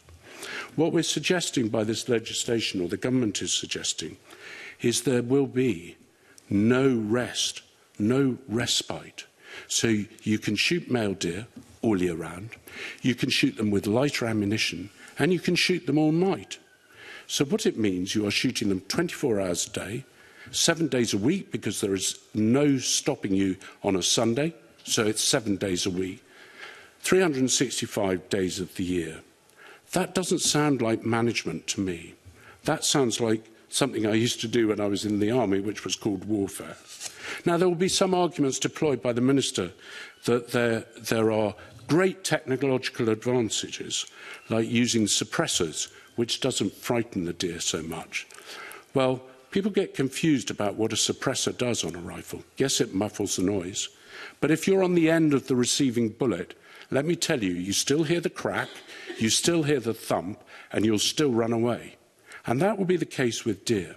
So in this process, there is no respite. And you can see when you go into woodlands that I've done with rangers that as soon as they see a vehicle, they're gone, and as soon as they see a light, they're gone at night. That, to me, is not where we want to be. I would also argue that shooting calves – young male calves in female, where, from when females are in milk, especially on the hill in woodlands, is not good practice. Deer do get mastitis, and it's deeply unpleasant when they do it. And the fact that you're doing this with males means that you have no selection. People who manage deer take a great deal of effort to make sure that they cull deer so that males are not mating with their mothers and their sisters That is bad deer management. Now, if you are just indiscriminately killing males, you will end up with juveniles who are probably more difficult to, in, uh, to identi identify, uh, who could end up mating with their sisters and mothers. That will cause all sorts of problems and make the herd poorer. And let me say, to, in answer to the question about Forestry Land Scotland that we've heard, if you look at the larder records of Forestry Land Scotland, uh, objectively, and you see who is culling deer out of seasons, and then ask the question, how many of the deer that Forestry Land Scotland shoot in their woodlands are under 12 months old? You would be shocked. You are seeing very young animals, calves being shot. When mothers are shot, calves are shot automatically. They can be just months old when that happens. So we're in a situation where I don't believe that there's welfare grounds for doing it. I don't think it's necessary. And here's the dichotomy for me, and a point raised by Kate Forbes. I sat in this committee when I heard about the need to control rabbits and the fact that we need to look after their welfare. I agree. But never forget, rabbits eat trees just as much as deer do. And I sat in this parliament and heard why we needed to protect blue hares. And there may be an argument for it, localised, I would say, but there may be an argument for it. But one of the biggest destroyers of young trees is actually hares, not deer. In cold weather, they have an ability to strip bark off young trees, which prevents their growth. And I've also heard in this parliament while I sat here about how we need to protect seals. And I heard that when we were talking about salmon. Um, that's despite a population explosion in seals, and uh, that's something that we're not addressing. And I've also heard about how we're going to protect beavers. In the last session of the Parliament, we weren't going to uh, allow them to be moved around Scotland. Now, under the current government, we are, and they are given virtually total protection. And we're hearing also why in this Parliament we should ban the use of glue traps, which are used to control rodents. So, is there a common thread that we can see about small, fluffy animals, hares, rabbits, seals? Why do deer not fit into that? Why are deer not ordered the same protection as these animals are? Now, I would say that when I heard this uh, petition coming forward, uh, sorry, the, uh, the instrument coming forward. I started a petition online. I didn't advertise. I just put it on Facebook uh, with a, and I put it on Twitter with a few tweets. I got support from the Scottish Land and Estate, Scottish Gamekeepers Association, Basque, SCA, and just about other, every other land manager in Scotland. With little and no effort, with little or no effort, As of today, 1,640 people have signed up saying that this must not happen. And some of the comments are quite telling. Some of them are unhelpful, but some of them are quite telling that they don't believe it's going to help deer management. So in summary, and why I brought this motion to annul, is I don't believe this, uh, believe we need this. It's misguided. The government already has the ability to control deer within woodlands and agricultural land without the authorization to kill male deer. I do, however, understand the difficulties that may be placed on the government by people considering that this motion to annul uh, would put them. But by annulling the motion today, and I'd say to committee members, I absolutely accept it won't be the end of it. I absolutely accept that the Minister may wish to bring this back to the committee in a slightly bigger form. It will allow the Minister to carry out the consultation which I believe the Minister has singularly failed to do. It would allow the Minister to understand some of the nuances of deer management, which is not about horn growth and it's not about shooting deer in the rut because we shoot deer in the rut anyway. And it would give this, this committee which I believe is singularly important in the parliamentary procedure, the ability to scrutinise the government when we've had more evidence and when you, convener and committee members, have heard more evidence from dear practitioners. That's why I've raised the motion to annul. I, hide no, I make no bones about the fact I would rather it didn't happen, but I accept it might happen. But I want to make sure that the primacy of this Parliament and this committee within the parliamentary process is heard, which is why I've raised the motion to annul. Thank you, Commissioner, and I'm happy to take any questions on any part of that that you're allowing me. Thank you, uh, Edward Mountain. Um, does any committee member wish to debate this motion? Ariane Burgess. Um, I'd like to um, just raise some points against the motion to annul. So I think what I've heard this morning, um, first of all, the already 48% of male deer are currently um, uh, shot out of season, and uh, what this, um, what the minister is bringing forward is um, a, a, piece of regulation that will remove the administrative burden um, on Nature Scot and Forestry and Land Scotland. And I've heard from Environment Link, which is a body that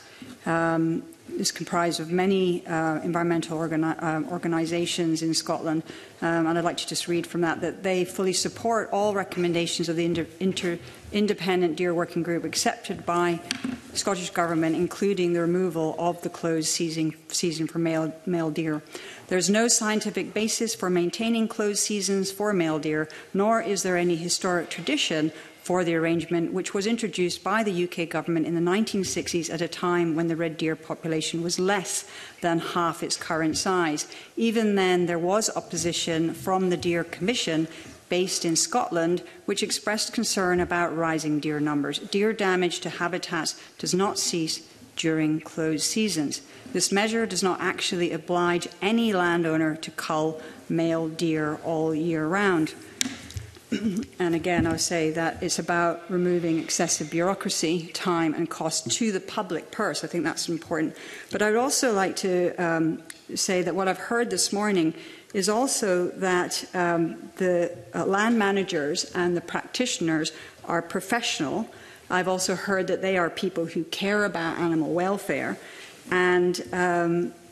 and I trust that they will carry out the work. Uh, and um, again, we must remember that already 40% of male deer are currently uh, killed, shot out of season. So I trust that with removing the bureaucratic burden, and removing that burden to the public purse, those professionals will continue to carry out that work in that way.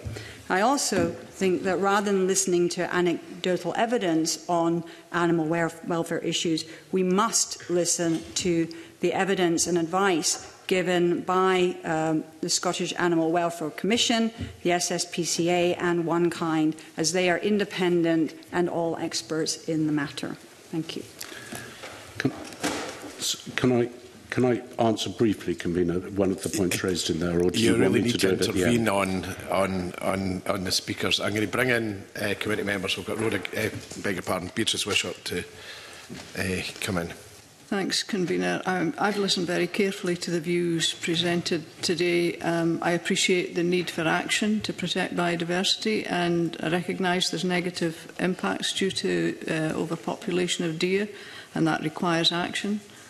I also understand the existing license process to obtain authorisation to shoot deer during the closed season and that there's both arguments that this is sufficient and arguments that this is overly bureaucratic. I'm also concerned about uh, the consultation process or lack thereof. I'm of the view that the instrument should have full parliamentary scrutiny and for that reason I will support Edward Mountain's motion in order for the SSI to come before the full Scottish Parliament. Thank you. Any other member? No. Um, I now invite Edward Mountain to wind up. Uh, Pardon. Sorry, I've jumped the gun. Uh, can I ask the Minister to respond? Thank you very much, Convener. Uh, I mean, I will remind the member, as we've already discussed, uh, that all legal requirements for consultation were met. We did everything that we needed to do. In the letter from Scottish Environment Link, they praised our efforts for making sure that we had fully engaged stakeholders on this matter. People who manage their land um, want to have the choice about how they're going to manage it. And uh, Mr. Mountain is correct. Some ma land management organisations are opposed to the removal of closed seasons for male deer. This instrument does not prevent them from continuing to observe a closed season. That is up to them to decide if they wish to continue to do that. We know that there is a demand from some land managers to uh, manage deer out of season because they cause damage all year round. And uh, deer of both sexes cause damage all year round. So managing the male deer is part of handling these issues immediately. They do need to be managed. Managing female deer also needs to be looked at. And of course, two of the things we spoke about today do affect female deer also. These Three pieces we've looked at today, but this one in particular is one small part of a larger approach to deal with this issue of the overpopulation of deer, which at high densities do cause commercial damage, environmental damage, and the numbers have increased so sharply over the last 30 years that we know that existing practice simply isn't good enough and isn't going to get us there. We do need to change existing practice. I very much hope that members will um, allow this motion to go forward, the negative uh, amendment, to um, ensure that we do remove this piece of unnecessary bureaucracy to give land managers those choices.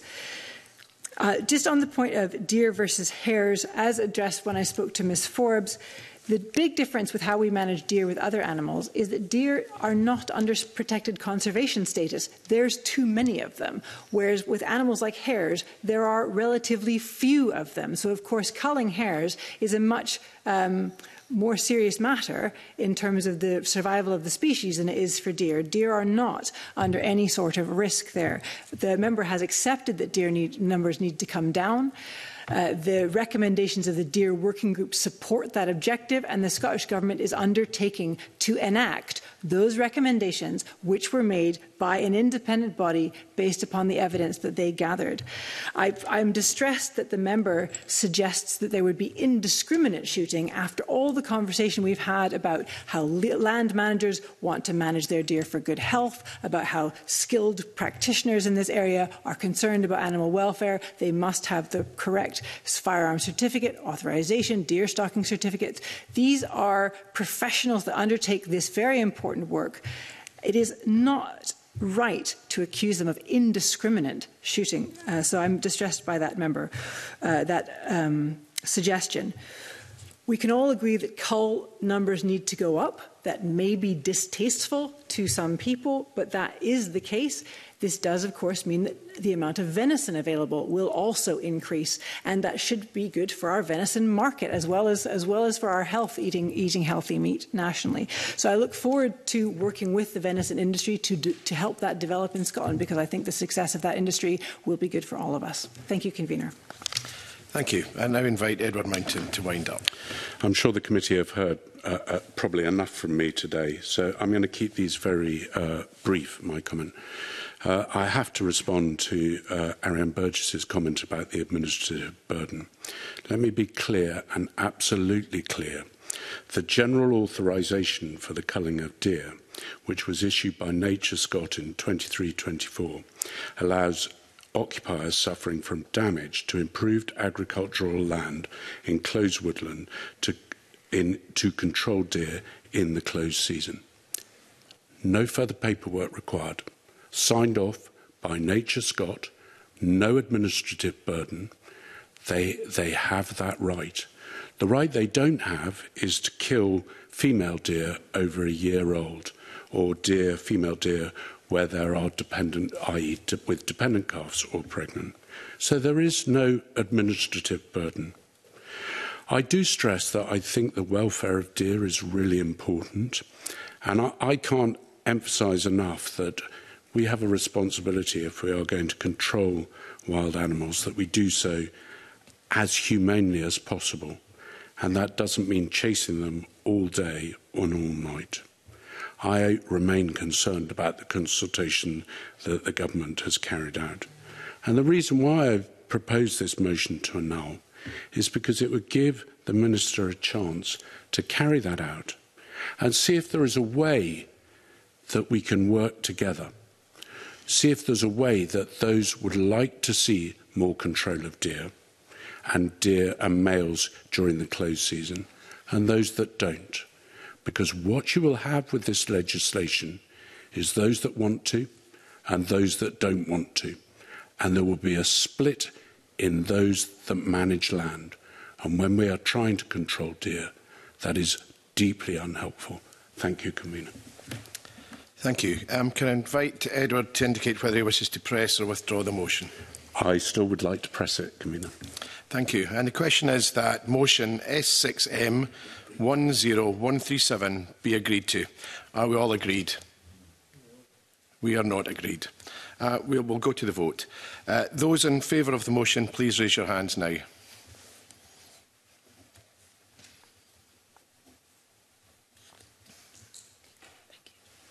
Those opposed to the motion?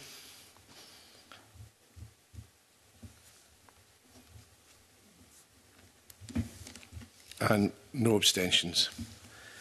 Uh, the result of the vote is 4-4 uh, uh, and as, as a convener I have the, the, the casting vote uh, and I cast my vote in favour of the motion uh, on the basis that I believe that uh, there's significant concern over uh, this uh, instrument. Uh, it doesn't put it to bed, but it allows the government to, to revisit it uh, and take on board some of the suggestions that the committee have made. So on that basis, I, I cast my vote in, in favour of the motion uh, to, to annul the instrument. Uh, so uh, that, would, that will be the instrument annulled by the committee. And finally, is the committee content to delegate authority to me to sign off a report on our deliberations on this negative SSI? Thank you. That completes consideration of the negative instrument. Uh, can I ask the, the Minister and officials just to remain uh, seated while we, we move on to the, the next item? Um, Uh, the committee will now consider the negative instrument, the Cereal Seed Scotland Amendment Regulation 2023. Do any members have any comments on the instrument? no comments. Uh, we will now suspend the meeting for a 10-minute comfort break uh, to allow a changeover of witnesses. Thank you.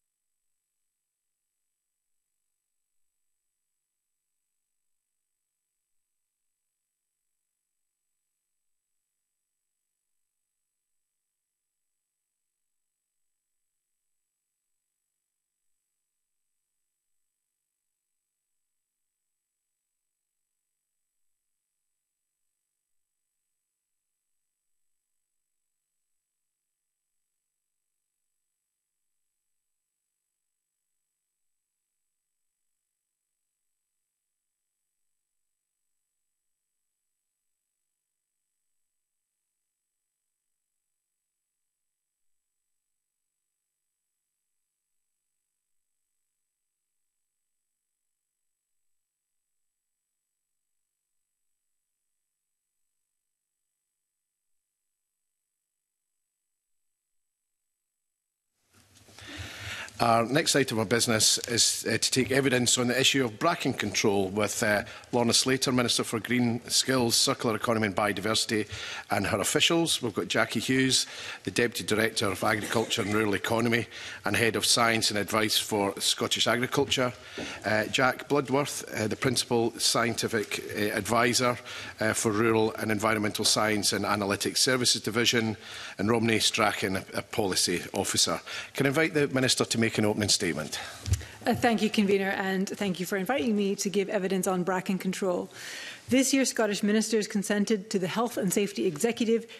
taking the decision to refuse the application for emergency use of Astulox in Scotland due to risks to health, to human and environmental health. Ministers are also aware of the risks associated with bracken, and our consenting to this regulatory recommendation was not taken lightly. Emergency use of Acilox has been granted annually for 10 years and applied to between 2 and 3,000 hectares of land, so around 2% of Scottish bracken, where topography precludes mechanical control. This year, the Health and Safety Executive assessed that Acilox use did not meet the legislative requirements for authorisation, as safety concerns and risks were identified which outweighed the benefits of use. The regulatory safety concerns centred on that there was no progress in addressing the risk related to Asulham's endocrine disrupting properties. The European Food Safety Authority concluded that Asulam meets the criteria of endocrine disruptor, a substance that can alter the function of the hormonal system in humans. No progress on addressing data requirements from previous authorizations related to livestock exclusion restrictions and the long term risks to soil organisms, birds, and mammals. There was concern about new risks related to toxicity of a new source of technical material, as well as concerns around detections in water. Insignificant process, uh, progress towards development of alternative controls without progress towards filling in requested data gaps and removing the need for future authorizations, it becomes difficult to characterize the need as an emergency. The evidence relating to risk associated with bracken was robustly assessed by ministers during the process of consenting to the regulatory advice. That includes the impacts on biodiversity, forestry, and grazing, as well as concerns about links with tick borne disease. We are committed to work closely with stakeholders to support sustainable and proportionate bracken management in the future. In August, the Cabinet Secretary and I convened a stakeholder roundtable to discuss next steps. We committed to establishing a working group to lead on identified priorities, including further evidence gathering support the publication of updated bracken control guidance for land managers, that was a particular request, and ensure that the decision on the 2024 application is communicated as early as possible, as the delay this year was frustrating. Decisions on pesticide authorization are based on regulation and scientific evidence, and products are authorized where that evidence demonstrates that they do not pose unacceptable risks to people, animals, or the environment. And I am very happy to take any questions that you have. Thank you very much, uh, Minister, for that update. Um, you, have, you have said in the past that we need to take urgent action to, to uh, reverse uh, the decrease in biodiversity and, and the impact uh, various land use and climate change has, has, has taken on, on nature in Scotland. Um, it looks like bracken biomass has increased by 28% on average over the last two or three years, which is, I would say, was hugely significant. Um, and bracken does suppress, if not kill out altogether, any other um, species uh, that, that's under the bracken. How do you see um, bracken control been tackled as a matter of urgency when potentially, and I understand the reasons for Azulux not being licensed, but when we take away what was one of the, the primary tools for controlling bracken spread, uh, what urgency is the Scottish Government looking at alternative methods of controlling bracken? Uh, so I, I will challenge the um, uh, convener's assumption that uh, ICLX was a primary means of uh, bracken control because only 2% of the bracken in Scotland was being used uh, was being treated with Acilox. 98% uh, of the bracken in Scotland is being managed either by other means or not managed at all. However, I do agree with the convener that uh, there does appear to be uh, an overgrowth of bracken, that it does appear to be increasing. What we don't have is solid evidence on that. So as part of this process, the Scottish Government commissioned the James Hutton Institute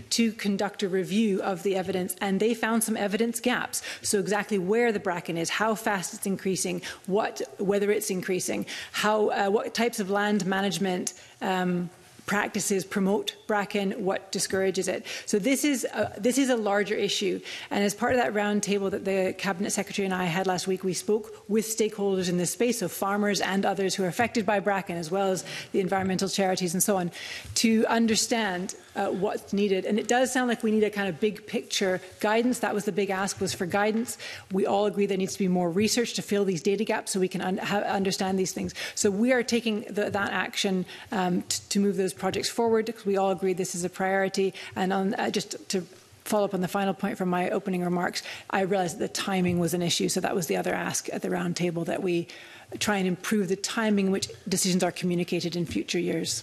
Thank you. And, and, and a written response to a question I asked you probably over a year now that everything you've said now you were aware of, but there seems to be little uh, action on the ground. So we haven't seen a programme that's mapping Bracken to the extent that we need. Um, there's been some research that would suggest that um, there's a significant increase in carbon uh, storage in areas that are not covered in bracken, so that's obviously important. But also the sa safety aspects of other bracken control hasn't been looked at in any great detail. So we're a year on from a commitment you made and nothing's happened. When, when will we actually see Scottish Government funding come forward to, to put some of these practices in place so we're not uh, in the position we were this year where we've got land managers desperate in some instances to, to get a decision on Agilox that we've got a far more planned approach to this. Is there, is there funding forthcoming? Uh, I mean, again, I'll challenge uh, the uh, convener's uh, assertion that nothing has been done. That commissioning James Hutton Institute to undertake this review of the existing evidence is the first step into understanding where those gaps are and then being able to commission the research into those gaps. After our discussion with the roundtable last week, I, th I think we've identified um, some of the places where the, where the research is most most needed, and we can take that forward. And I'd be very happy to write to the member on what came out of that working group, or what came out of that round table and how we're going to move that research forward, because it's something we're all interested in. Thank you. Uh, Alistair Allen. Uh, thank you, Convener. Um, can I just ask you uh, to say a wee bit more about um, uh, the, the extent or the manner in which the Scottish Government can be said to have followed scientific advice in this decision, uh, and how that compares or contrasts with DEFRA's position in England? Uh, yeah, absolutely. So the decision, uh, the decisions on pesticide matters um, such as this are undertaken on behalf of the Scottish Government by the Health and Safety Executive. They are the delegated authority to do that, and they do that based on all the evidence um, that, is, that is needed. The application for this emergency application for Astulox was made at a UK level.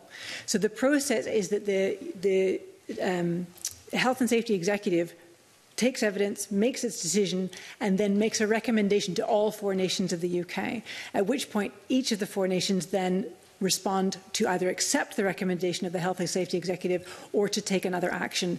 In which case, the, the, in this case, DEFRA took another action, which was to call in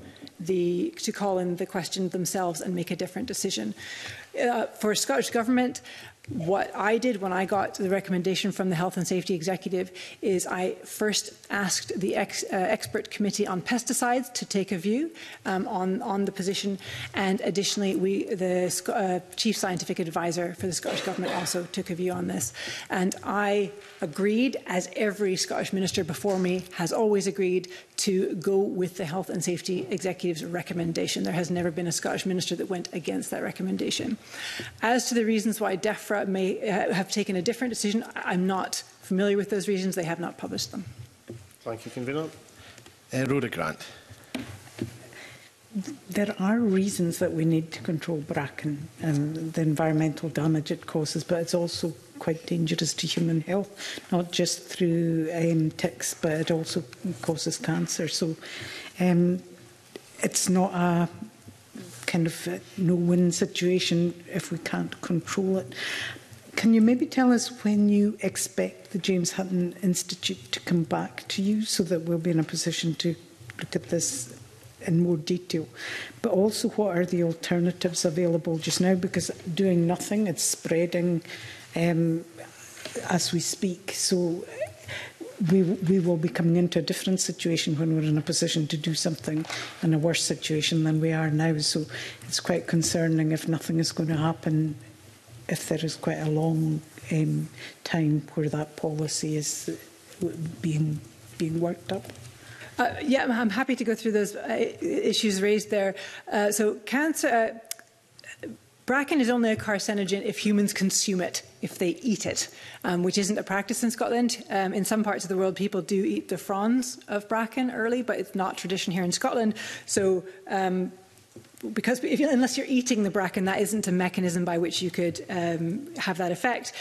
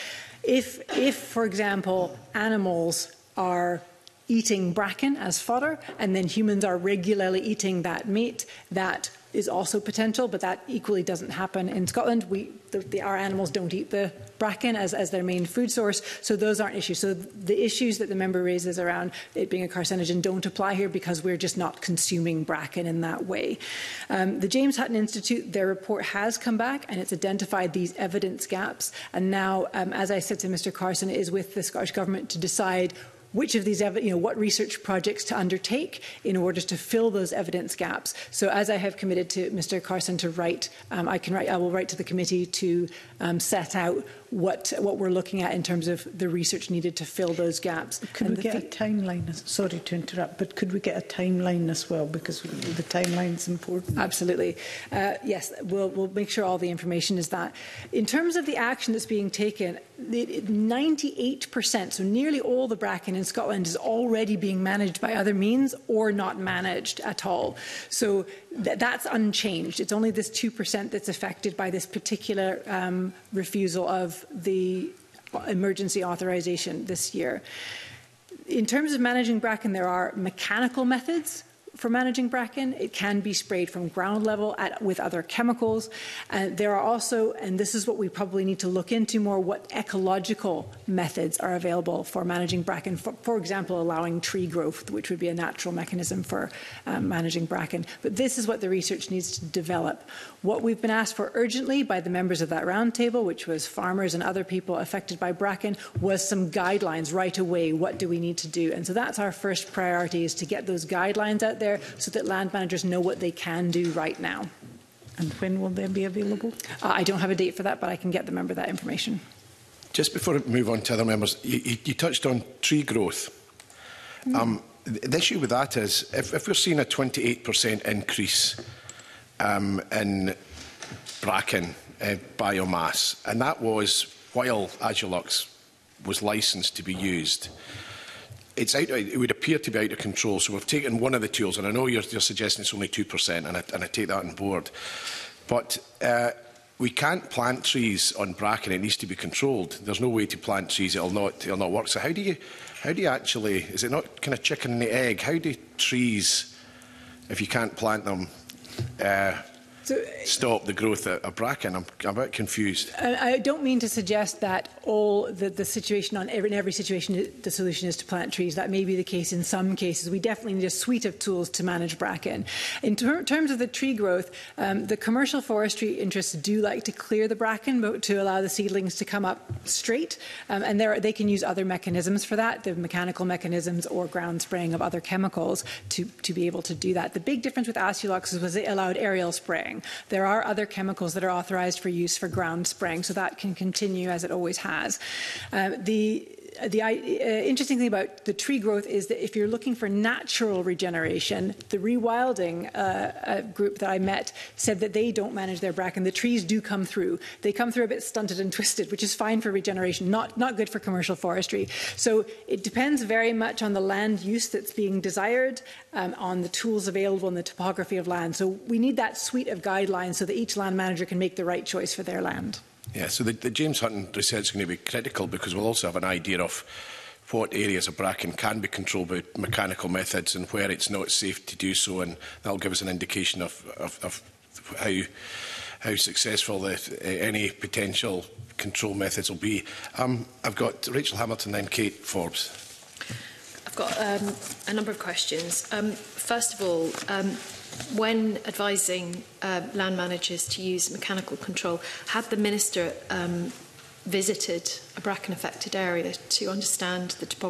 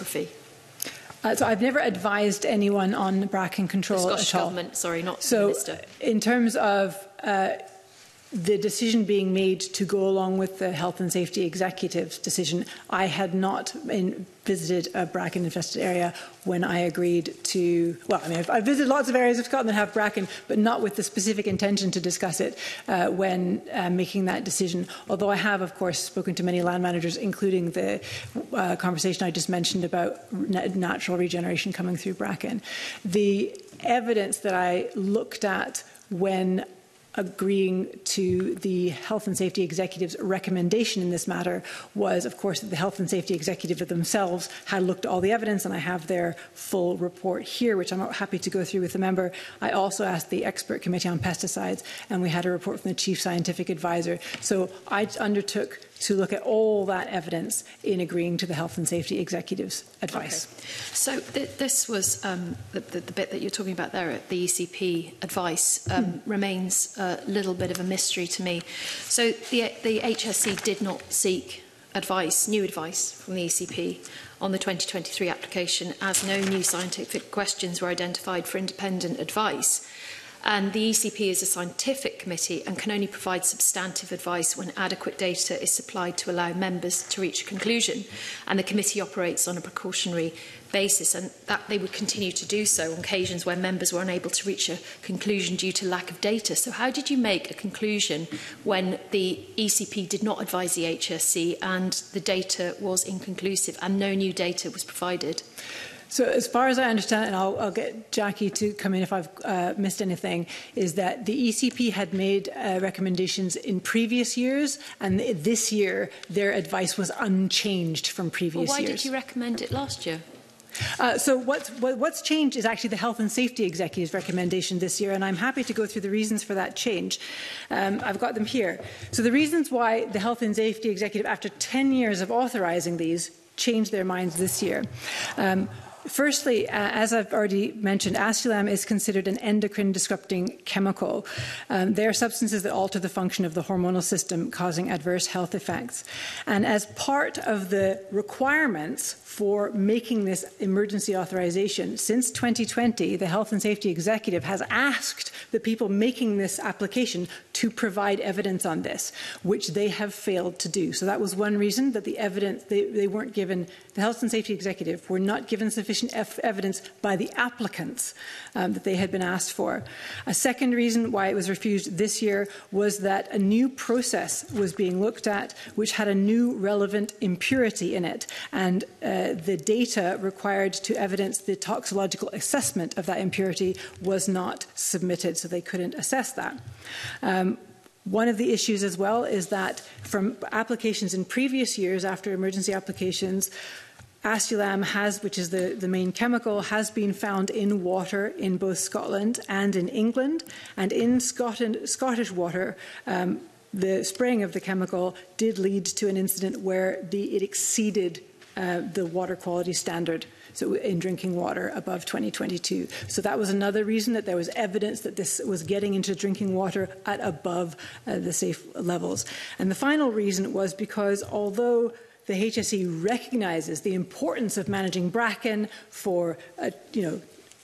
pre uh, preventing issues of Lyme disease to help support regeneration of habitat. Um, I'll read their exact answer here, which is, however, while the benefits of controlling bracken are set out, the applicant has indicated that bracken covers 1.5 million hectares in the UK, but proposes to treat only 7,500 7, uh, hectares, so this is in the UK, um, which is a, a meaning that the danger remains in 99.5% of the UK, 98% of Scotland. Therefore, The extent of the reduction in danger is unclear and may be low. So treating 2% of Scottish bracken with this chemical that's ended up in the water that we don't have data showing that it's safe in terms of the endocrine disruption, that they didn't supply data on their new toxic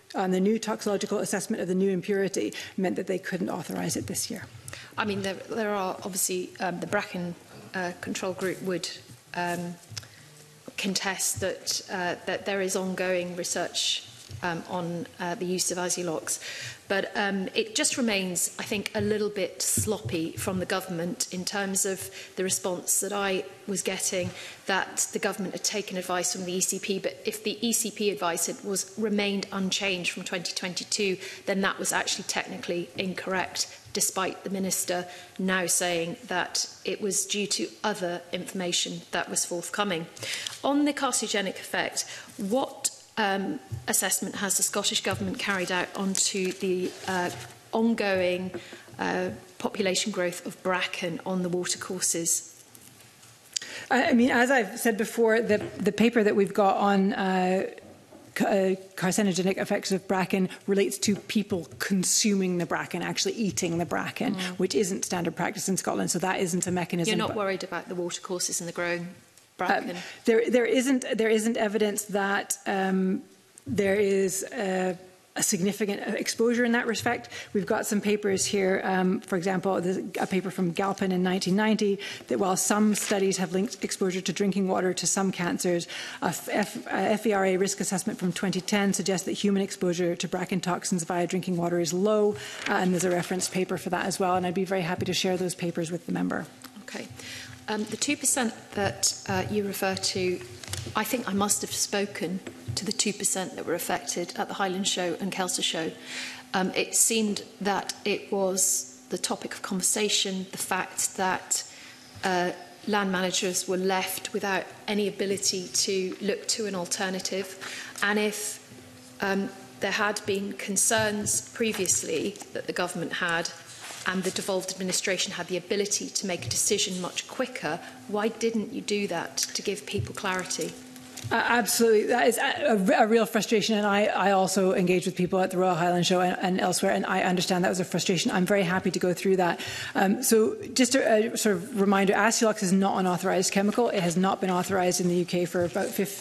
yeah, for more than 15 years. So, this emergency authorization process has been used every year um, to, to enable the use of Acilox. And the timeline for this year was that uh, on the 20th of March, I received the HSE recommendation. Um, I consulted with HECP as discussed, uh, and I was able to make my decision on the 3rd of May. Because this decision,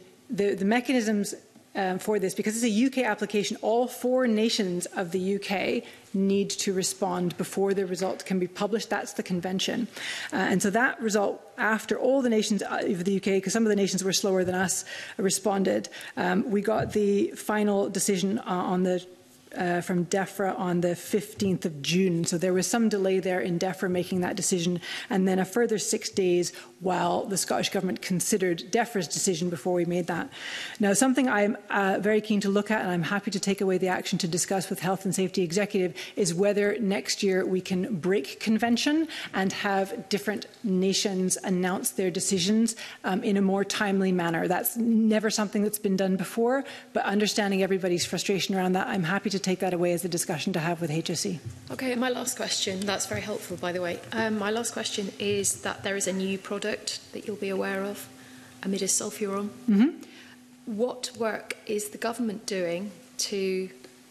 establish uh, a new um, approach to control? Because obviously mechanical control on steep banking is not safe. Um, and also, I just want to make the point that it's, it's very difficult to suck up the argument that in some circumstances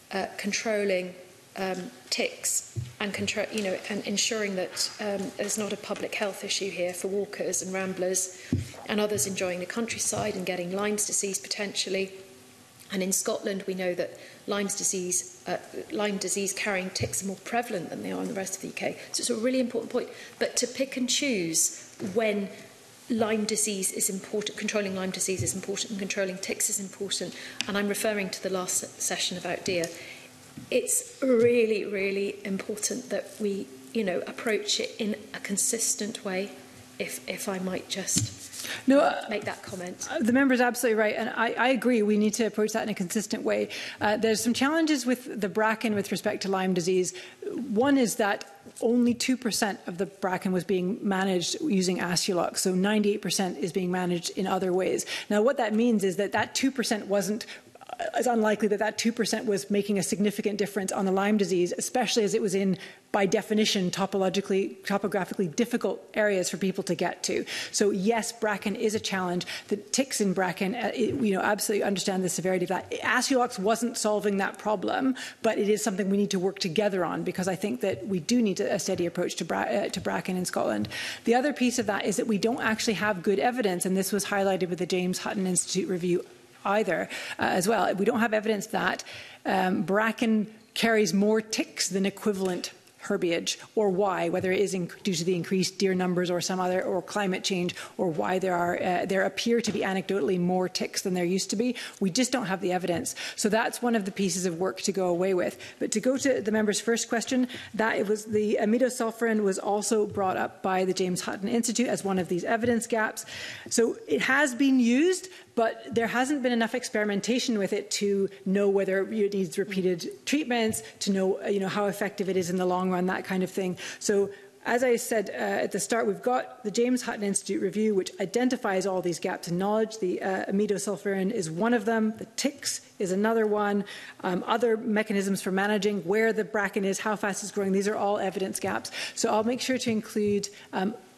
how we see all these potential gaps being filled and the process for developing that research program in the letter that I've already promised to colleagues. Okay, thank you. Uh, I've got Kate Forbes and then Ariane Burgess. Uh, thanks very much. Just a slight tangent perhaps, but, um, and I know the Minister will be very familiar with this, but over the summer I, of course, in my constituency had two of the largest wildfires, so Daviot and Canich and I went to visit the site of one of them and, and was told quite repeatedly that by both some of the environmental charities as well as uh, the gamekeepers on the ground that one of the primary reasons, of course, that the wildfire, particularly in Canny, spread so fast is because of the fuel load. So the build-up of vegetation.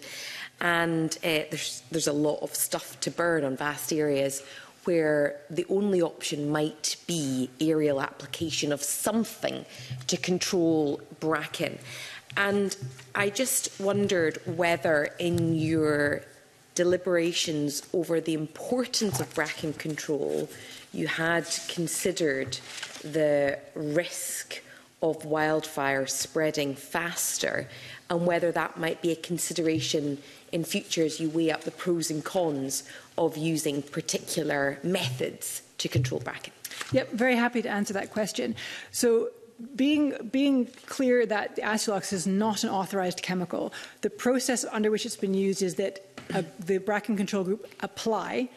for, for the uh, emergency authorization. And within that application, they make arguments as to why we should be using this particular mechanism. And fire risk is not on their listed arguments. So it wouldn't have been considered because they were not asked to consider it.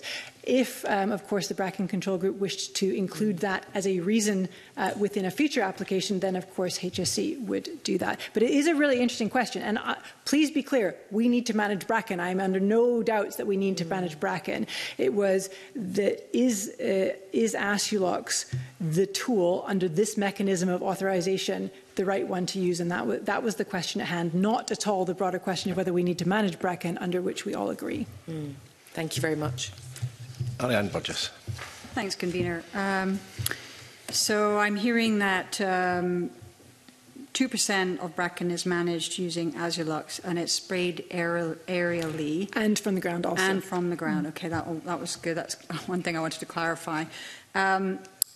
but the, the, the reason that the Health and Safety Executive brought this, you know, raised this as an issue and probably why um, it's not an authorized chemical and we can only uh, it can only be used under emergency application is that it's an endocrine disruptor. Is that is that correct?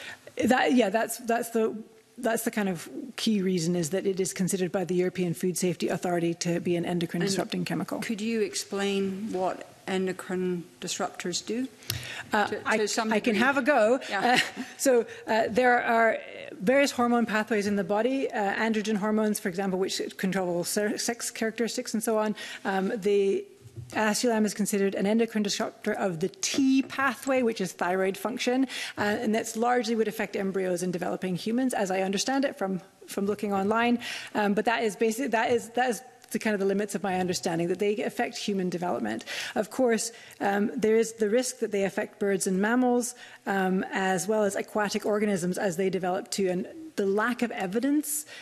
so the, the app, neither the applicant nor the manufacturer have been able to demonstrate that this chemical is safe, and it is actually with those with the um, producer of this to demonstrate to the authorization bodies that it is safe to use, that it doesn't have these negative effects, and they have failed to do so. And you said, so presumably the 2% um, of land managers who apply to use it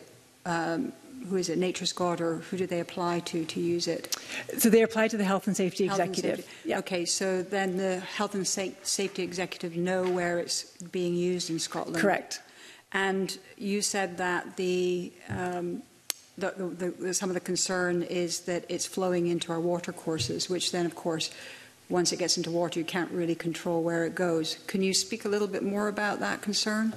Uh, I mean, I, I, just the evidence that I've got in front of us, which is that um, Scottish Water regularly detect residues of Ashulame in water supplies, so that's regular. And there was one incident, and it came from a ground spraying incident where that those levels did exceed um, drinking water standards. So it is getting into the water tables. Now that is only, and I want, need to point out maybe to the member that that is specifically Scottish water, so public water. Within the uplands where the spraying is happening, there are of course many private water supplies which are not tested. So we do not know whether they are being contaminated or not.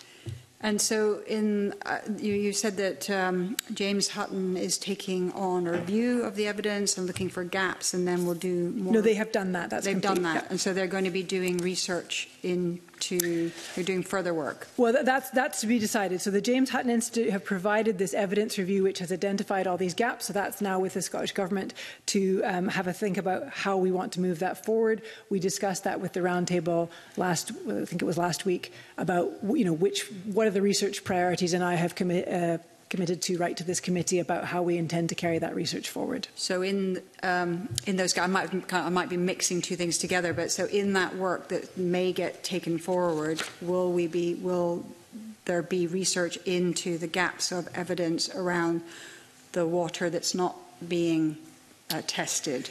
Uh, that wasn't something that the James Hutton Institute identified. The testing of water supplies wasn't one of those things, but um, you know, it's it, it's an interesting point. I guess if we're taking Asulame out of the system by not allowing the emergency authorization this year, then of course we wouldn't expect that contamination to occur. But I wonder if there's also something to look at in terms of health issues around, you said specifically thyroid, or people in the area where it's been used. Has, has, there, uh, has there, been any work done by the Health and Safety Executive on that? I mean, not specifically in Scotland on these, on these detections in the last few years because they have been below. Most of the detections are residual and below the, the level of safety. There was just the one incident of it being above the level. And of course, Scottish Water will, be,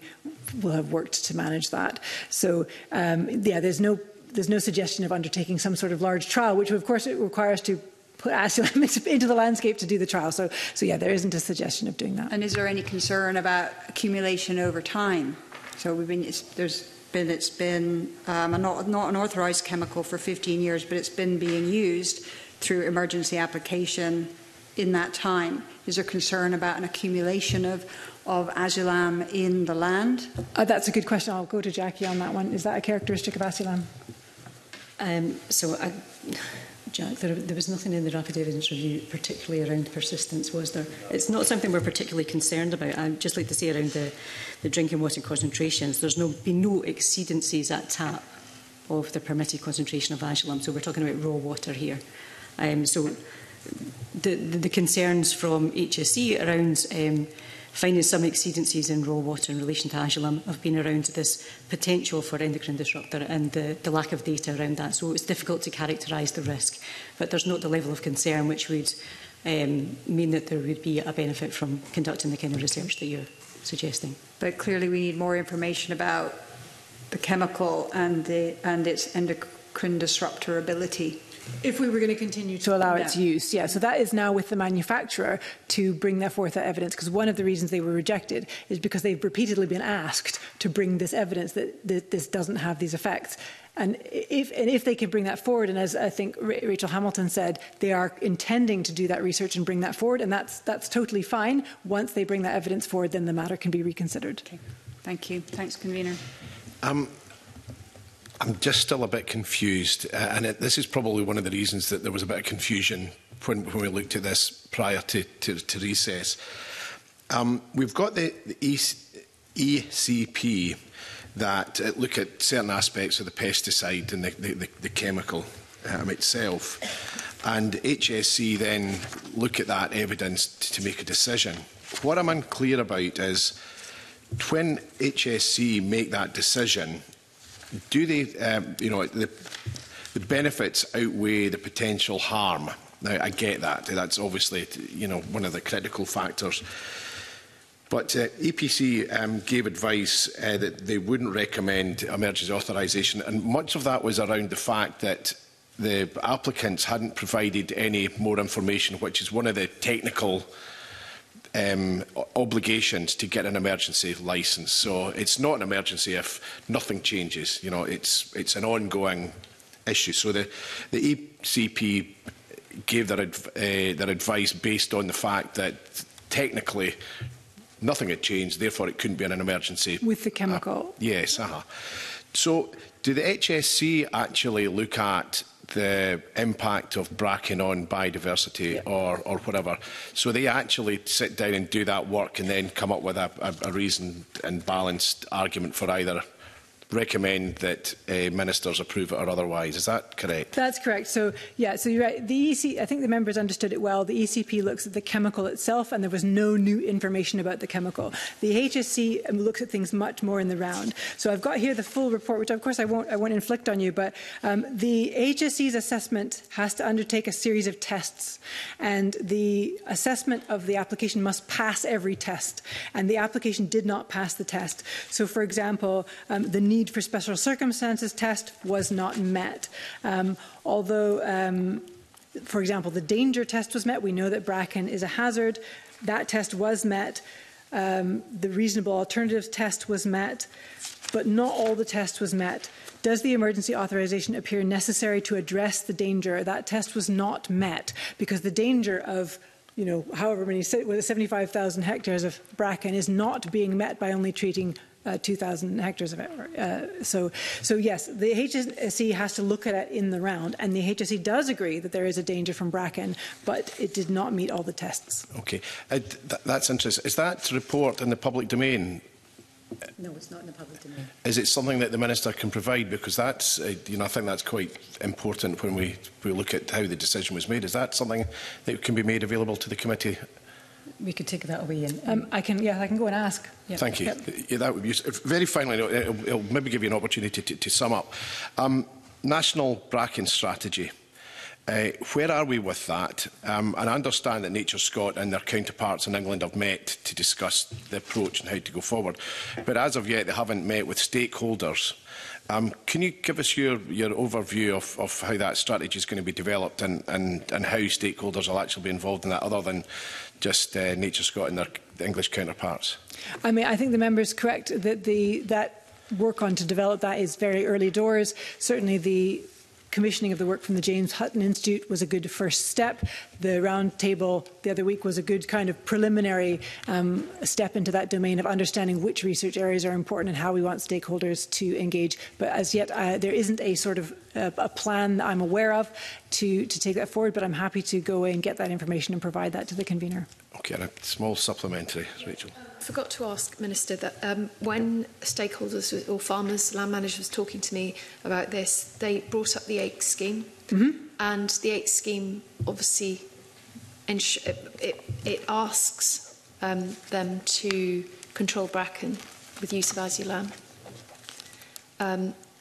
I'd like to know whether that the AIC scheme will change to reflect your decision on this, or what, what, what are your views on that?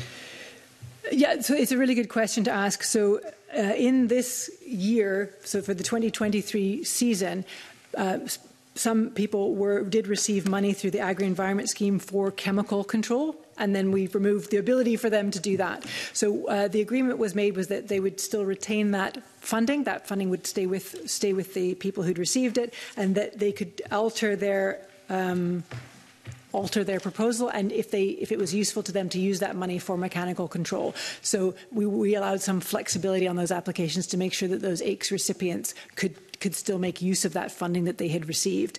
Um, and the cabinet secretary has committed to, you know, budgetary pressures allowing uh, to include um, funding for bracken control in the next round of AICS as well, so that people can continue to have funding to control it. Okay.